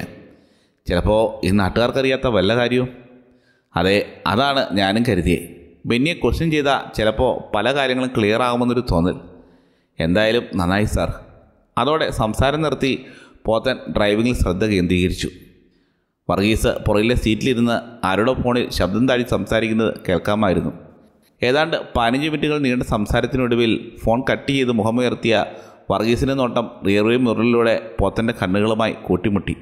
ആരായിരുന്നടാ? ഗുഡ് ന്യൂസ് ആണ് സാർ അല്ലിമോൾ മരുന്നുകളോട് പ്രതികരിച്ചു തുടങ്ങി. ബോധം തെളിഞ്ഞു. പക്ഷേ വർഗീസിന്റെ സ്വരം താഴ്ന്നു. ഇപ്പോഴും ബനു ശുക്ർ എന്ന് മാത്രമേ പറയുന്നുള്ളൂ. അതിലോ? അതിലൊക്കെയാണ് ചിലപ്പോൾ നാളെ ഡിസ്ചാർജ് ആവും. പക്ഷേ പക്ഷെ കക്ഷീനെ സൈക്ക് വാർഡിലേക്ക് മാറ്റാനുള്ള പരിപാടിയുണ്ട്. ചിലപ്പോൾ എന്റെ ഒരു റെക്കമെൻഡേഷൻ വേണ്ടി വരും. ഒന്ന് പോയി സൈൻ ചെയ്ത് കൊടുത്താൽ മതി. അവർക്കവിടെ വേറെ ബന്ധുക്കളൊന്നും ഇല്ലാത്ത സ്ഥിതിക്ക് അത് കുഴപ്പമില്ല. അവനെ അങ്ങനെ ഡിസ്ചാർജ് ചെയ്ത് ഇറക്കി വിടുന്നതും സേഫല്ല ഒരു സൈക്ക് വാലുവേഷൻ എന്തായാലും വേണം. വർഗീസിന് വേറെന്തോ കൂടി പറയാനുണ്ടെന്ന് ആ മുകളിൽ നിന്നും വ്യക്തമായിരുന്നു. പോത്തൻ ഒരു വട്ടം കൂടി മെറിലൂടെ അവനെ നോക്കി. സാർ സർക്കാർ അടിയന്തര സഹായമായിട്ട് ഒന്നര ലക്ഷം രൂപയാണ് പാസ്സാക്കിയത്. ഇപ്പോൾ തന്നെ ബില്ല് എട്ടര കടന്നു. പോത്തനിൽ നിന്നും ഒരു ദീർഘനിശ്വാസം ഉയർന്നു. ഗവൺമെന്റ് ഹോസ്പിറ്റലിലേക്ക് മാറ്റാൻ പറ്റിയ അവസ്ഥയിലല്ലെന്നാണ് ഡോക്ടർ പറഞ്ഞത്. വർഗീസേ പോത്തന്റെ സ്വരം ഗൗരവമാർജിച്ചു നിനക്കോ എനിക്കോ ഇതിൽ എന്തെങ്കിലും ചെയ്യാൻ പറ്റുമോ നിന്റെ കയ്യിൽ ചുമ്മാ എടുത്തു കൊടുക്കാൻ ഇതുപോലെ എട്ടോ പത്തോ ലക്ഷം കാണുമോ? ഇല്ല സാർ. ആ അപ്പോൾ പിന്നെ അതോർത്ത് ടെൻഷൻ അടിക്കരുത്. നമ്മൾ നമ്മുടെ പണിയെടുക്കുക എല്ലാം കൂടെ എടുത്ത് സ്വന്തം തലയിൽ വെക്കരുത്. ലോകത്തെ എല്ലാ പ്രശ്നവും നമ്മൾ വിചാരിച്ച സോൾവ് ചെയ്യാൻ പറ്റുമെന്ന് വിചാരിക്കരുത്. സാർ വർഗീസിന്റെ സ്വരം താഴ്ന്നു. പാറയിൽ കുടുംബത്തിന്റെ തറവാട്ട് വീട് തമ്പുരാട്ടിമൂല എന്ന ഒരിടത്തായിരുന്നു. പകുതിയും ഇടിഞ്ഞു പൊളിഞ്ഞു വീണ പുരാതനമായ ഒരു മാളിക വീട്. കുടുംബസ്വത്ത് ഭാഗം വെച്ച് ഒടുക്കം ഇളയ മകനായ ബെന്നിക്ക് കിട്ടിയ സമ്പാദ്യമാണിത്. ഇടിഞ്ഞു പൊളിഞ്ഞതെങ്കിലും ആ ഇരുനില വീടിന് പഴമയുടെ പ്രൗഢി ഒട്ടും വിട്ടൊഴിഞ്ഞിരുന്നില്ല. അകത്ത് ആളുണ്ട്. വാതക്കൽ ഇട്ടിരിക്കുന്ന ഒരു ജോഡി ചെരുപ്പുകളിലേക്ക് നോക്കി രൂപേഷ് പിറുപിറുത്തു. ബെന്നിച്ചേട്ടായി വാതിൽ ചെറുതായി തട്ടിക്കൊണ്ട് അനില ഉറക്കെ വിളിച്ചു. ആരാ? അകത്തുനിന്നും ഞരക്കം പോലുള്ള ശബ്ദം കേട്ടു. ഞാനാ അനിലയ. ഇങ്ങനെ ഇറങ്ങി വന്നേ ഒരു കാര്യം ചോദിക്കാനുണ്ട്. നീങ്ങ് കയറി വാടി പണ്ണേ ഞാൻ ഇത്തിരി നേരം ഒന്ന് കിടക്കാൻ വിചാരിച്ചിരിക്കുക. പോലീസുകാർ അകത്തേക്ക് കിടന്നു. കൂരിട്ടായിരുന്നു ഉള്ളിൽ. അനില പരിചയസമ്പന്നയെപ്പോലെ വലതുവശത്തെ ഭിത്തിയിലെ സ്വിച്ചുകളെല്ലാം ഓണാക്കി. ബെന്നി ഒരു സോഫയിൽ ചെരിഞ്ഞു കിടക്കുകയാണ്. അടിവസ്ത്രം മാത്രമാണ് വേഷം. ഇതെന്നാ ഇങ്ങനെ ഇരുട്ടത്ത്? അനില ഒരു പുഞ്ചിരിയോടെ ബെന്നിക്കരികിലിരുന്നു പോയി മുണ്ടെടുത്തേച്ച് വന്നേ ഈ സാറന്മാർക്ക് ഏതാണ്ട് ചോദിക്കാനുണ്ട്. അപ്പോഴാണ് അയാൾ അനിലയുടെ കൂടെ അത്രയും പേരുണ്ടായിരുന്നത് ശ്രദ്ധിച്ചത്. പെട്ടെന്ന് തന്നെ ചാടി എഴുന്നേറ്റ് സോഫയ്ക്കടിയിൽ നിന്നും ഒരു കൈലിയെടുത്ത് വാരി ബെനി കഴിച്ചിട്ടുണ്ടോ? പോത്തൻ ചോദിച്ചു. ഇല്ല സാർ. രാവിലെ ഒരിച്ചിരി കഴിച്ചതാ. ബെനി ഭവിതയോടെ കസരയിൽ വലിച്ചിട്ട് എല്ലാവരോടും ഇരിക്കാൻ ആംഗ്യം കാണിച്ചു. അതെ തനിക്ക് ബോധവും വെളിവും ഉണ്ടെങ്കിലേ ഞങ്ങൾ നിന്നിട്ട് കാര്യമുള്ളൂ. ഇല്ലെങ്കിൽ നമുക്ക് പിന്നെ കണ്ടാലും മതി. പോത്തന് അതിലൊരു കസേരയിലേക്ക് ഇരുന്നു കൊണ്ട് പറഞ്ഞു. സാറിന് എന്നാ വേണ്ടെന്ന് വെച്ചാൽ ചോദിക്കും സാറേ. ഇത്തിരി കഴിക്കാതെ എന്നെ ഒന്നിനും കൊള്ളില്ല. പോത്തൻ സഹാനുഭൂതിയോടെ ആ മനുഷ്യനെ അടിമുടിയൊന്ന് നോക്കി. അയാൾ പറഞ്ഞ തത്വശാസ്ത്രത്തിൽ പണ്ട് അടിയുറച്ച് വിശ്വസിച്ചിരുന്ന ഒരാളാണ് പോത്തനും ഒരു പെഗ്ഗെങ്കിലും ഉള്ളിച്ചെന്നില്ലെങ്കിൽ പിന്നെ തന്നെ ഒന്നിനും കൊള്ളില്ല എന്ന് കരുതിയിരുന്നു അയാൾ. അയാൾ അനിലയെ നോക്കി തുടർന്നോളാൻ ആംഗ്യം കാണിച്ചു ബെനിച്ചേട്ടായി ഞങ്ങളെ ഒരു കാര്യം പറയാൻ പോവുകയാണ്. അത് കേട്ട് കഴിയുമ്പോൾ ചേട്ടായി എങ്ങനെ പ്രതികരിക്കുമെന്ന് ഞങ്ങൾക്കറിയില്ല. എനിക്കറിയാം. ബെന്നിയുടെ സ്വരം വല്ലാതെ താഴ്ന്നിരുന്നു. എന്റെ ചേട്ടായിനെ ആരാണ്ട് കൊന്നല്ലേ ബെന്നിയുടെ മറുചോദ്യം എല്ലാവരെയും ഞെട്ടിച്ചു കളഞ്ഞു. അതെന്നാ ബെന്നിക്കങ്ങനെ തോന്നാൻ പോത്തന്റെ നെറ്റി ചുളിഞ്ഞു. ഒരു ദീർഘശ്വാസത്തിന് ശേഷമാണ് ബെന്നി തുടർന്നത്. ഇനിയിപ്പം നേരത്തോട് നേരമായിട്ടും ബോഡി എന്താ റിലീസ് ചെയ്ത് കിട്ടാത്തെ? ഞാൻ ഹോസ്പിറ്റലിൽ പോയിരുന്നു. പോത്തനും കൂട്ടർക്കും മറുപടി ഉണ്ടായിരുന്നില്ല. ബെന്നി അടഞ്ഞ സ്വരത്തിൽ തുടർന്നു. ചേട്ടായിക്ക് എല്ലാവരും കൂട്ടുകാരാ.